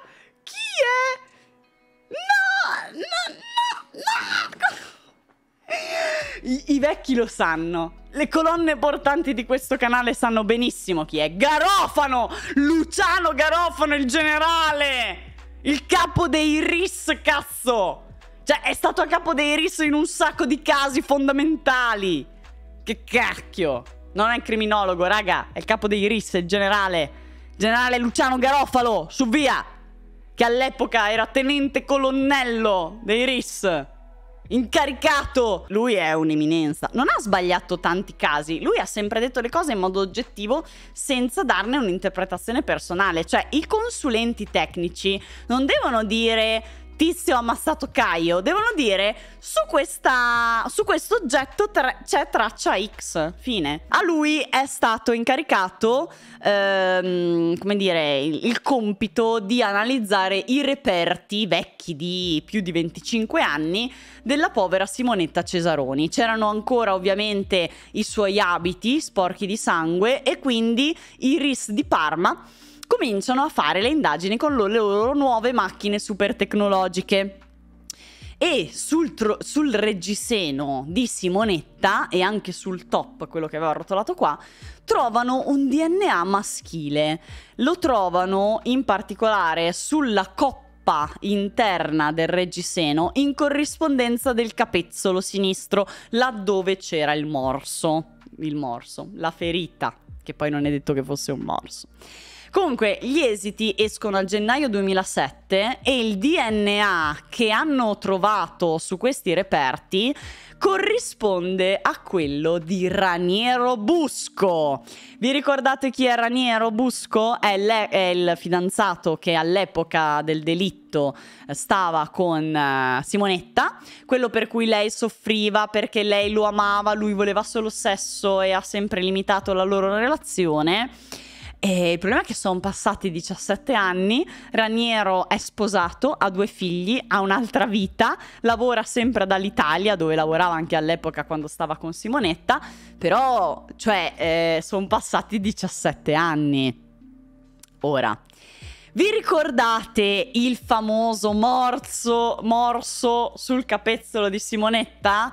Questo è come hanno presentato Raniero dopo che è stato trovato il DNA, no? Lo vedete? Vedete anche la scelta giornalistica del cazzo che vi riporto qui giusto per farvi vedere come mostrano il sospettato, perché lui è innocente fino a prova contraria, eh? Ripetiamo, innocente, hanno trovato solo il suo DNA sugli indumenti della sua fidanzata dell'epoca, quindi Però, mm, no, lo prendono subito con la faccia da cattivo, ma anche il portiere uguale. Erano sempre foto con la faccia da cattivo, sbatti il mostro in prima pagina, certo, certo, certo, un vampiro stacca capezzoli che poi aveva eh, quelle ferite lì. Allora, il morso non era un morso, cioè nel senso non sappiamo se effettivamente è un morso oppure no. Io continuo a farvi vedere questa immagine e eh, perché è giusto che vi fate un'idea, anche voi. Questo è il reperto del medico legale, cioè è il disegno che ha fatto il medico legale rispetto alla ferita sul capezzolo della povera Simonetta. Ora, non possiamo dire con certezza che quello sia un morso, però cosa succede? Che trovato il DNA di Busco, la procura dà per scontato, comincia a dare per scontato immediatamente che quello sia un morso. Quindi sicuramente, siccome c'è il DNA sul reggiseno in prossimità del capezzolo, allora quello deve essere un morso perché quel DNA sia saliva. Nonostante Garofalo continui a dire noi non sappiamo se quella sia saliva o meno. Noi abbiamo detto che c'è il DNA di lui, ma non è detto sia saliva. Non è detto nemmeno di quando, quando arrivi. Non abbiamo detto neanche che quello è un morso e che la saliva deriva da quel morso. Cioè, capite che anche dire Garofano ha sbagliato i casi, Garofano non è che ha sbagliato i casi, è che la procura prende quello che dice Garofano e poi lo porta a, a, ad acqua a suo mulino. È un po' diversa la cosa perché mi, mistificano. Cioè, qui Garofano ha detto il DNA corrisponde a quello di Raniero Busco. La procura ha detto, ah allora quello è un mosso, quella è la saliva di Raniero, quindi l'ha uccisa Raniero. Capito? Cioè, Garofano rimane un dio supremo, assolutamente, rimane un dio supremo, intoccabile. Comunque, la sorella Paola di Simonetta conferma che effettivamente quel giorno Paola eh, indossasse biancheria pulita, lavata però a mano con acqua fredda. Ora, il fatto è che lei indossava un reggiseno pulito, ma lo aveva lavato a mano in acqua fredda. Noi sappiamo che un lavaggio a mano in acqua fredda non sempre cancella tutte le tracce di DNA, anzi, quasi mai. Quindi è molto probabile che quelle tracce di Raniero siano in realtà risalenti ben giorni prima rispetto a quello dell'omicidio e che quindi ci siano normalmente delle tracce di DNA del fidanzato poiché era il suo fidanzato, insomma, niente di nuovo all'orizzonte. Però per la procura, bam, finalmente un colpevole. Però c'è un problemino noi abbiamo scagionato Federico, abbiamo scagionato Vanacore perché non corrispondeva con il gruppo A dell'assassino. Sempre dato per scontato che il sangue dell'assassino sia eh, quello A lasciato sulla porta, no? Però Raniero ha il gruppo 0, non ha il gruppo A. Allora cosa dice la procura per continuare a tenerlo come sospettato, come colpevole? Dice ah allora aspettate dunque non può essere A ma è 0 quindi sicuramente il sangue di Raniero era in mezzo a quello di Simonetta che era 0 c'è stata la commistione c'è 0 e allora c'è anche lui ok io ho una domanda e quello A di chi è? scusate scusate quello A di chi è quindi? No, ora non vale più, che non è A, quindi non è lui? Oh, Ok. E quindi niente, il 9 novembre 2009 Raniero viene rinviato a giudizio. È incredibile. È incredibile, raga. È incredibile. Io comincio ad avere veramente paura delle procure. Eh. Comincio ad avere seriamente paura. Perché basta essere nel posto sbagliato al momento sbagliato, avere le relazioni sbagliate. Cioè, ti, ti, sbattono dentro un cazzo di calvario e poi non ti danno neanche un risarcimento. Comunque, Raniero aveva un alibi all'epoca dei fatti perché chiaramente lo interrogarono anche lui nel 90 e lui disse che tra le 17.30 e le 18.30, orario in cui è confermato anche dall'autopsia che sia stata uccisa Simonetta, lui si trovava sotto casa sua a riparare un motorino insieme all'amico Simone Palumbi. Questa è la versione che lui diede all'epoca dei fatti, all'epoca del delitto nel 90. Sono passati 17 anni, vanno da lì, vanno da lui e gli chiedono Oh, Raniero, dove eri il 7 agosto tra le 17.30 e le 18.30? Guarda, io non lo so, fate fede a quello che ho detto all'epoca. Quindi lui riconferma l'alibi del 7 agosto. Il problema del 90. Il problema è che il suo amico Simone Palombi gli smentisce l'alibi e dice no no, io non ti ho mica visto quel pomeriggio lì, ci siamo visti la sera. Bell'amico! Cioè, devo dire, eh, dopo 17 anni l'amico si ricorda anche di smentirgli l'alibi. Amici, amici, poi, veramente, eh. Gli chiedono dovere mentre succedeva un fatto grave, quindi fo forse qualcosa che uno può ricordare, effettivamente sì. Effettivamente dati fatti sì. Cioè, se io per esempio adesso vi chiedo, dove eravate mentre sono state colpite le torri gemelle? Forse così lo sapete, sapete rispondere meglio. Quindi, eh, nel caso, effettivamente, anche Raniero... Ma Raniero, che movente avrebbe avuto? Ottima domanda, Rocky. Ottima domanda, ottima domanda. Comunque, per non saperne leggere né scrivere, il 26 maggio 2009 Raniero viene rinviato a giudizio per omicidio volontario e solo e soltanto sulla prova scientifica del DNA. Cioè, non ci sono altre prove eh, contro Raniero, eh? C'è solo quella. Il movente, adesso vi racconto del movente secondo la ricostruzione della procura. Raniero, dicono, Raniero era molto geloso della libertà di Simonetta. Io adesso non dico niente e vorrei che qualcuno di voi insorgesse. Perché, cioè, questa frase, considerato quello che sappiamo, della relazione tra Raniero e Simonetta mi fanno veramente cadere le palle. Cioè, lui è quello che ha detto a Simonetta: Zia, io vado in vacanza con i miei amici, te vai con le tue. Secondo voi era uno così geloso della libertà di Simonetta? Ma non ha un cazzo di senso, gli aveva detto di andare in vacanza per cazzi suoi perché lui voleva andare con i suoi amici. Cioè, non mi sembra uno così controllante, geloso e possessivo. Ma andiamo avanti. Dicono, alcuni atteggiamenti ostentati dal giovane, a partire dall'insistenza nel ridurre l'orizzonte di senso della loro relazione, risponderebbe al tentativo di nascondere i suoi sentimenti reali. Attenzione, rileggiamo quello che scrive la procura sul movente. Alcuni atteggiamenti ostentati dal giovane, a partire dall'insistenza nel ridurre l'orizzonte di senso della loro relazione, traduciamo in senso babbano. A partire da alcuni atteggiamenti considerata l'insistenza nel dire a Simonetta che se la voleva solo scopare senza avere sentimenti per lei, questo sarebbe per la procura un tentativo di nascondere i sentimenti reali di Raniero. Cioè, quindi lui aveva una fidanzata innamorata perdutamente di lui, ma lui, per nascondere i suoi sentimenti e fare l'uomo alfa senza l'uomo che non deve chiedere mai, l'ha uccisa. Ah, ah, ah, ah, così ha senso. C- così sì che ha senso. Raga, ma io non lo so, cioè, la procura qua si drogava sempre in continuazione, anche se cambiano i PM e continuano a drogare, si passano la stessa droga, lo stesso numero di spacciatori, cioè io non lo so. Ma ci fanno, ci sono, no, no, no, no, non lo so, si passeranno, si passeranno il numero dello spacciatore, mi viene da pensare questo. Cioè, non ci sarei mai arrivato neanche io. Ti assicuro, neanche io, quando ci vuole hanno una, una, una fantasia. A difesa di Raniero, però, ci sono numerose prove che la procura non considera. Ovvero, il reggiseno che era stato lavato a freddo e quindi permetteva al DNA di resistere a lungo.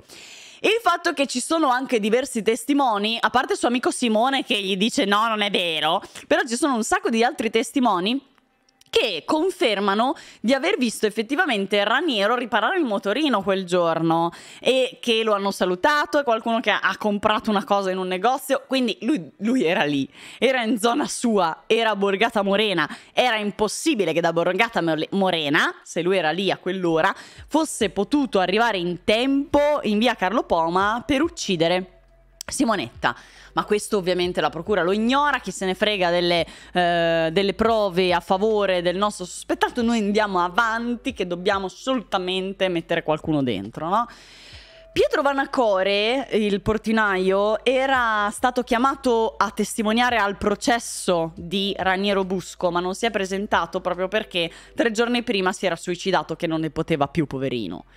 Comunque, primo grado, viene condannato. Raniero Busco viene condannato. Adesso io non so se avesse un avvocato di merda o cosa. Viene condannato a 24 anni di reclusione con l'accusa di omicidio volontario aggravato da crudeltà. Cioè, questo qui. L'ex, fidanzato di Simonetta che le dava in là, ma lei era innamorata, lui non, non la mollava, stava continuando a pisellarla, lei stava, poi lei è stata uccisa lui, dopo 17 anni, viene messo in mezzo, viene arrestato, viene condannato, finisce in carcere sulla base del fatto che aveva leccato le tette alla sua morosa. 26 gennaio 2011 finisce in carcere, 24 anni di reclusione.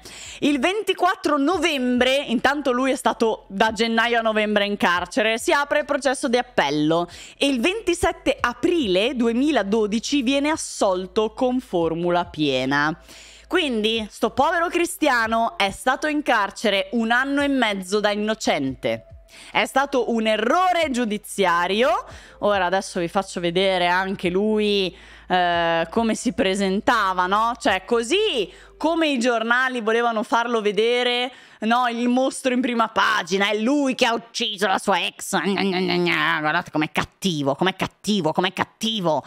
Guardate com'è quando invece lo, lo scagionano rispetto a, a, questo omicidio che non aveva mai eh, commesso. Qual era la scusante per non dargli un risarcimento? Perdonatemi, visto che l'avete incastrato solo sulla base del DNA e lui non, non c'entrava niente. Cioè, boh.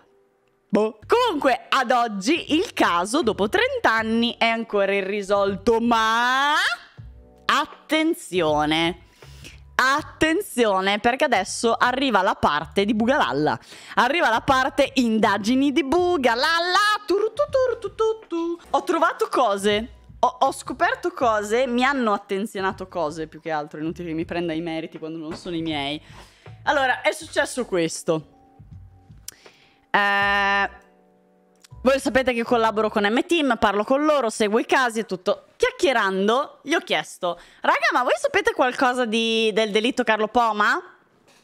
No, è perché ho sentito questa cosa qui. Mi andate a cercare se trovate qualcosa che ha a che fare con questa cosa qui. E mi hanno mandato un link che hanno trovato. E io ho detto tipo...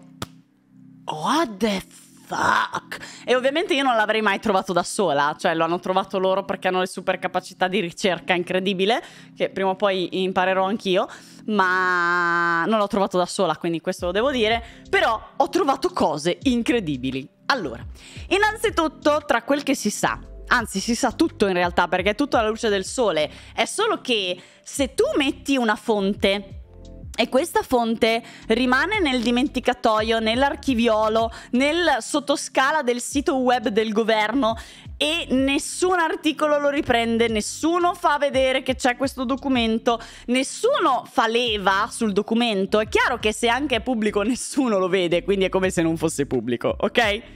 Siamo in un caso di questo tipo. Bene, cominciamo con un piccolo preambolo. Ora andremo a parlare di servizi segreti, cosa di cui io non ho nessuna conoscenza. Sono totalmente ignorante e penso che i servizi segreti siano qualcosa di molto simile agli unicorni volanti. Invece ho scoperto che esistono davvero.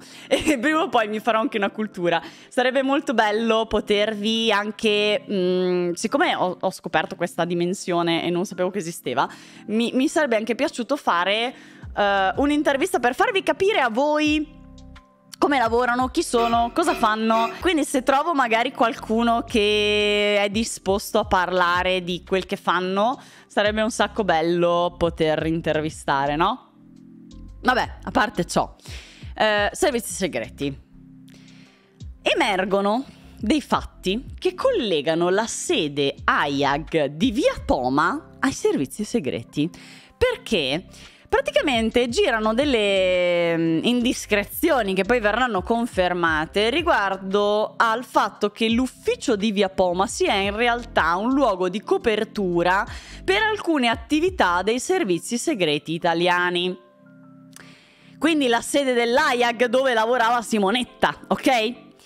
Questi dettagli sono collegati anche al fatto che Roland Foller, il super testimone austriaco, quello che disse no, Federico Valle è stato lui, la mamma, eccetera, eccetera, risulta che Foller era sicuramente o quasi collegato, io direi sicuramente collegato ai servizi segreti. Perché? perché lui fu trovato in possesso di alcuni documenti riservati sul delitto dell'olgiata che è appunto quello che mi chiedete sempre e che prima o poi arriva sicuramente. Ma questo Foller aveva dei documenti che poteva avere soltanto se i servizi segreti glieli avessero passati per non parlare del numero di telefono intestato al Ministero degli Interni, per non parlare della cassetta di sicurezza firmata a nome de- della eh, questione di, Milano, di, di Roma. Cioè, capite che sicuramente era lì in mezzo. Quindi, viene da pensare che Foller sia stato pagato per dare un'informazione falsa e depistare le indagini per coprire qualcosa a servizio di servizi segreti, per i servizi segreti. C'è un altro filone di indagine che dice che il delitto di Simonetta si, si, legherebbe in realtà ad alcune operazioni illecite compiute da certi soggetti che facevano parte dei servizi segreti in merito alla cooperazione allo sviluppo in Somalia. Quindi c'erano delle azioni un pochino illecite, che eh, un pochino, forse tanto illecite, che avevano a che fare con la cooperazione e lo sviluppo in Somalia e che venivano registrate nella sede dell'AIAG dove lavorava Simonetta.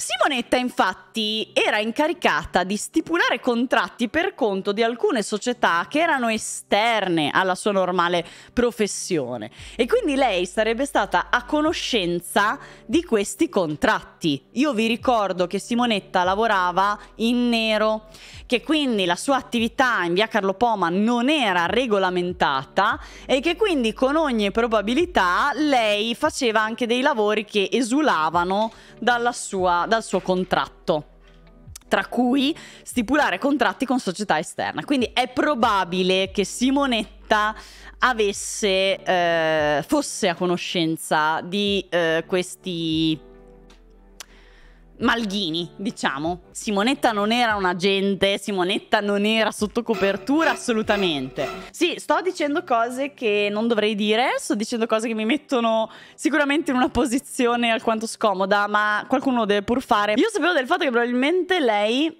aveva stampato dei documenti riservati. Già, esatto. Anche. Infatti lei nella sua contabilità teneva anche contabilità che aveva a che fare con questo giro. Bene, allora, tra l'altro, questa ricostruzione eh, riconnette l'omicidio della Cesaroni con il delitto di Mario Ferraro. Mario Ferraro era un colonnello dei servizi segreti che il 16 luglio del 95 è stato ritrovato impiccato in casa sua, ma era evidentemente un suicidio finto, cioè lo hanno suicidato sostanzialmente. Eh, riconnette questa cosa. E eh, questo collegamento emerge anche dall'interrogazione parlamentare che è stata fatta fatta alla Camera dei Deputati eh, è sul ovviamente è sul sito, adesso vi spiego tutto. Comunque è stata fatta il 28 febbraio del 95 all'onorevole, dall'onorevole Massimo Scalia.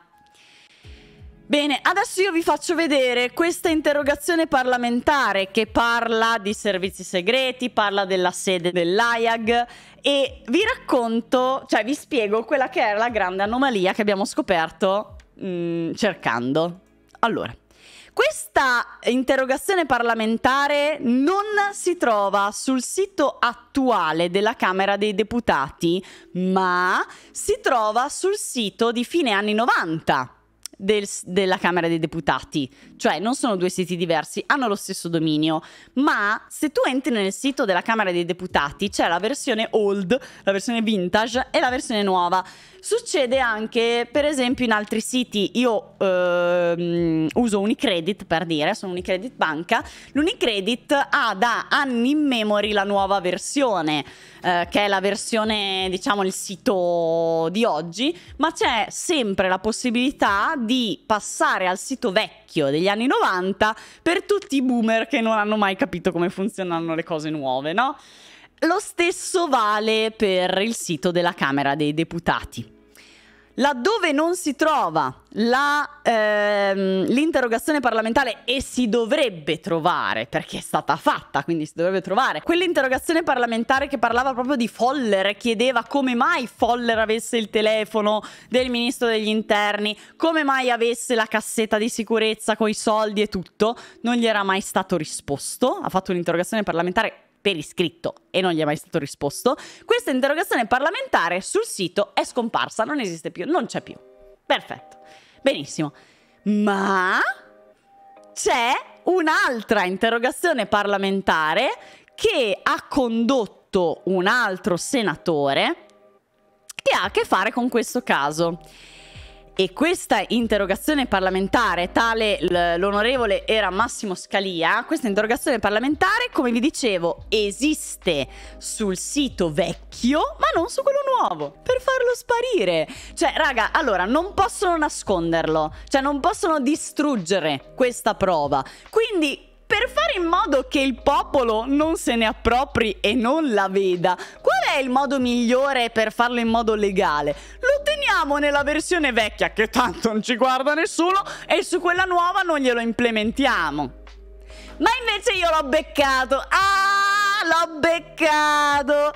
l'ho beccato! È venuto fuori un sacco di roba interessante. Zan zan zan zan. E adesso io vi mando il link perché è giusto che voi ci cliccate sopra, visto che cercano di nasconderlo. Quindi ve lo spammo, cliccate tutti su questo link perché giustamente se lo nascondono noi ci clicchiamo sopra. E poi adesso ve lo faccio leggere. Molto tranquillamente. Allora, ta ta ta. È gravissima, sì che è gravissima, Pingu. Cioè, ci, io vorrei che qualcuno di più influente di me, in senso politico, tirasse fuori di nuovo questa cosa. Perché è assurdo che non venga cagata né dai documentari né da chi fa approfondimenti su questa storia. Cioè, è veramente assurdo. Ma perché? Perché non lo trovano. Chiaro, non lo trovano. Interrogazione a risposta scritta presentata da Scalia Massimo in data, vabbè, è 28 95 28 febbraio 95, come vi dicevo, no? Eccolo qua, io ve lo lascio qua perché così possiate vedere la fonte, possiate capire che non vi sto parlando di cose di fuffa inventata eh, dal niente, ma lo potete leggere e vedere con i vostri occhi e intanto vi parlo di quello che c'è scritto qui dentro. Ora siete tutti indagati. Allora, L'onorevole Scalia chiede al Presidente del Consiglio dei Ministri e ai Ministri dell'Interno, della Difesa e del Tesoro di sapere cosa sanno e renderlo pubblico. Quindi, cioè la richiesta in questo caso di un'interrogazione parlamentare prevede una risposta scritta e pubblica per questa richiesta, ok? Richiedono eh, delle risposte sulla società per cui lavorava Simonetta Cesaroni, la AIAG, che sembra eh, interessata mh, mm, del delitto in quanto. Nello stabile di Via Poma 2, dove venne uccisa Simonetta Cesaroni, oltre alla sede dell'AIAG, eh, dove lavorava appunto Simonetta, viene eh, ci sono diciamo altre sedi, altre società che lavoravano o erano a copertura dei servizi segreti italiani, ovvero Sismi e Sisde. Le società all'interno di quello stabile che lavoravano con i servizi segreti erano la Reli, guarda caso quella per cui lavorava Simonetta, Simonetta in origine, la Ali Aero Leasing SPA, la Sielco SRL, la Remag SRL, Innova Group SRL, tutte in via Poma, che rappresentava ovviamente una, se- una sede di comodo e non quella reale e legale. Entro nella magistratura, meglio di no, va là, mi fa un secca subito. Comunque, la società per cui Simonetta lavorava, ovvero la AIAG, gestiva un enorme database di cittadini italiani, probabilmente il più grande in Italia, con informazioni tali eh, come nominativi, indirizzi, codici fiscali continuamente in carico d'entrata. Quindi praticamente venivano costantemente aggiornate con le informazioni personali delle, della gente. Archivio di dati che avrebbe potuto consentire, data la sua ampiezza, un uso distorto, ad esempio attraverso la costituzione di cooperative o altro tipo di società con nominativi prelevati dagli schedari dell'AIAG di persone del tutto ignare al fine di richiedere finanziamenti e avere la disponibilità di flussi di denaro o di immobili. Il magistrato che ha seguito l'indagine ha ricevuto di loro iniziativa due agenti della Polizia di Stato che ehm, si sa che insomma il primo lavorava al Sismi e il secondo lavorava al SISDE ed è per questo che l'onorevole è a conoscenza di queste eh, informazioni. Ok? L'onorevole chiede e non riceverà mai risposta dai ministri ma l'onorevole in questo caso chiede di appurare la situazione, ovvero la consistenza e le finalità della società che avevano, sede, che avevano sede in via Poma 2, i loro rapporti reciproci e quelli con l'AIAG. Verificare se l'archivio dati dell'AIAG non sia stato occasione di operazioni distorte, quindi sapeva troppo, oh yeah nel caso in cui la verifica desse esiti positivi, per verificare ulteriormente se non era questo uno dei canali per il lavaggio e il riciclaggio di titoli di Stato o di denaro avvenuti per diretto interessamento o con la complicità di quei funzionari del SISDE per i quali sono già stati avviati procedimenti giudiziari, nomi che già compaiono negli atti giudiziari dell'omicidio eh, filo della torre all'olgiata del caso Castellari. Comunque, quello che stanno dicendo qui è che Simonetta con ogni probabilità ha ehm, stilato dei contratti per queste azioni illecite. Igor, patrono di tutto questo complotto, non ha mai fatto menzione. Io, a proposito di questo e quell'altro che non ho mai fatto menzione, guardate con i vostri occhi, per favore. Guardate questo cazzo di link e leggetelo e ditemi se davvero si può ignorare una cosa del genere. Ma poi interrogazioni parlamentari senza risposta. C'è una commissione di giustizia che non risponde a un'interrogazione. Cioè, boh. Ok, a posto. Comunque va bene. Ehm... Ah, chiede anche di controllare se i nominativi presenti negli elenchi AIAG non siano stati usati a copertura di attività terroristiche o di attività militari esercitate clandestinamente nel nostro paese a supporto di paesi terzi. In entrambi i casi con il coinvolgimento di personale del SISMI e SISDE. Simonetta non sapeva di sapere, o forse quel giorno, in qualche modo, da lì a poco aveva capito qualcosa e aveva nasato qualcosa. Faccio bene a scappare in America, c'hai ragione, scappo presto. Poi, altra cosa, fornire all'autorità giudiziaria documentazione ed elementi che consentano di stabilire se l'uccisione della Cesaroni sia da porre in connessione con l'essere stata sospettata di aver scoperto casualmente uno degli elenchi di nominativi di cui ai punti precedenti. Ed eccoci qua il movente del delitto di via Carlo Poma. Pam! Basta, non sapremo mai chi è stato. È stato un depistaggio infinito. Eh, ci hanno messo lo zampino diverse persone. Ma se ci sono di mezzo i servizi segreti, il mistero dell'interno e tutto, abbiate fede che non scopriremo mai chi ha ucciso la povera Simonetta. Mai. E quindi niente, mettiamoci il cuore in pace. Eh, ci sono cose che non sapremo mai nel mondo. Una di queste è chi ha ucciso la, la povera Simonetta Cesaroni. Ripeto, eh, io nella mia versione, nella mia visione delle cose, hanno usato tantissimi capri espiatori. Dapprima il portiere, per poi il telefonatore anonimo, che vabbè è stato scoperto subito, e poi Federico Valle che non c'entrava un cazzo. E veramente chiunque, ma eh, infine scavando, scavando, scavando, senza appoggiarsi alle fonti documentaristiche, senza appoggiarsi agli articoli di giornale, ma guardando direttamente nel sito della Camera dei Deputati, c'è la fonte numero uno e la soluzione al caso. È lì. È lì. Ma nessuno la riporta, ovviamente. Perché? Perché se domani non mi vedete più, scoprirete perché nessuno l'ha riportata. Lo scoprirete.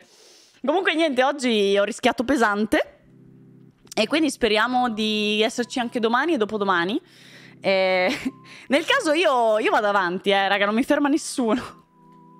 C'è bisogno di fare. Tanto tra un po' io volo in America, dopodiché dall'America io dico quello che mi pare. che mi vengano a cercare. Adesso vi ri- riracconto com'è andata secondo me. Simonetta era diventata scomoda, era da far fuori. Volponi sapeva tutto.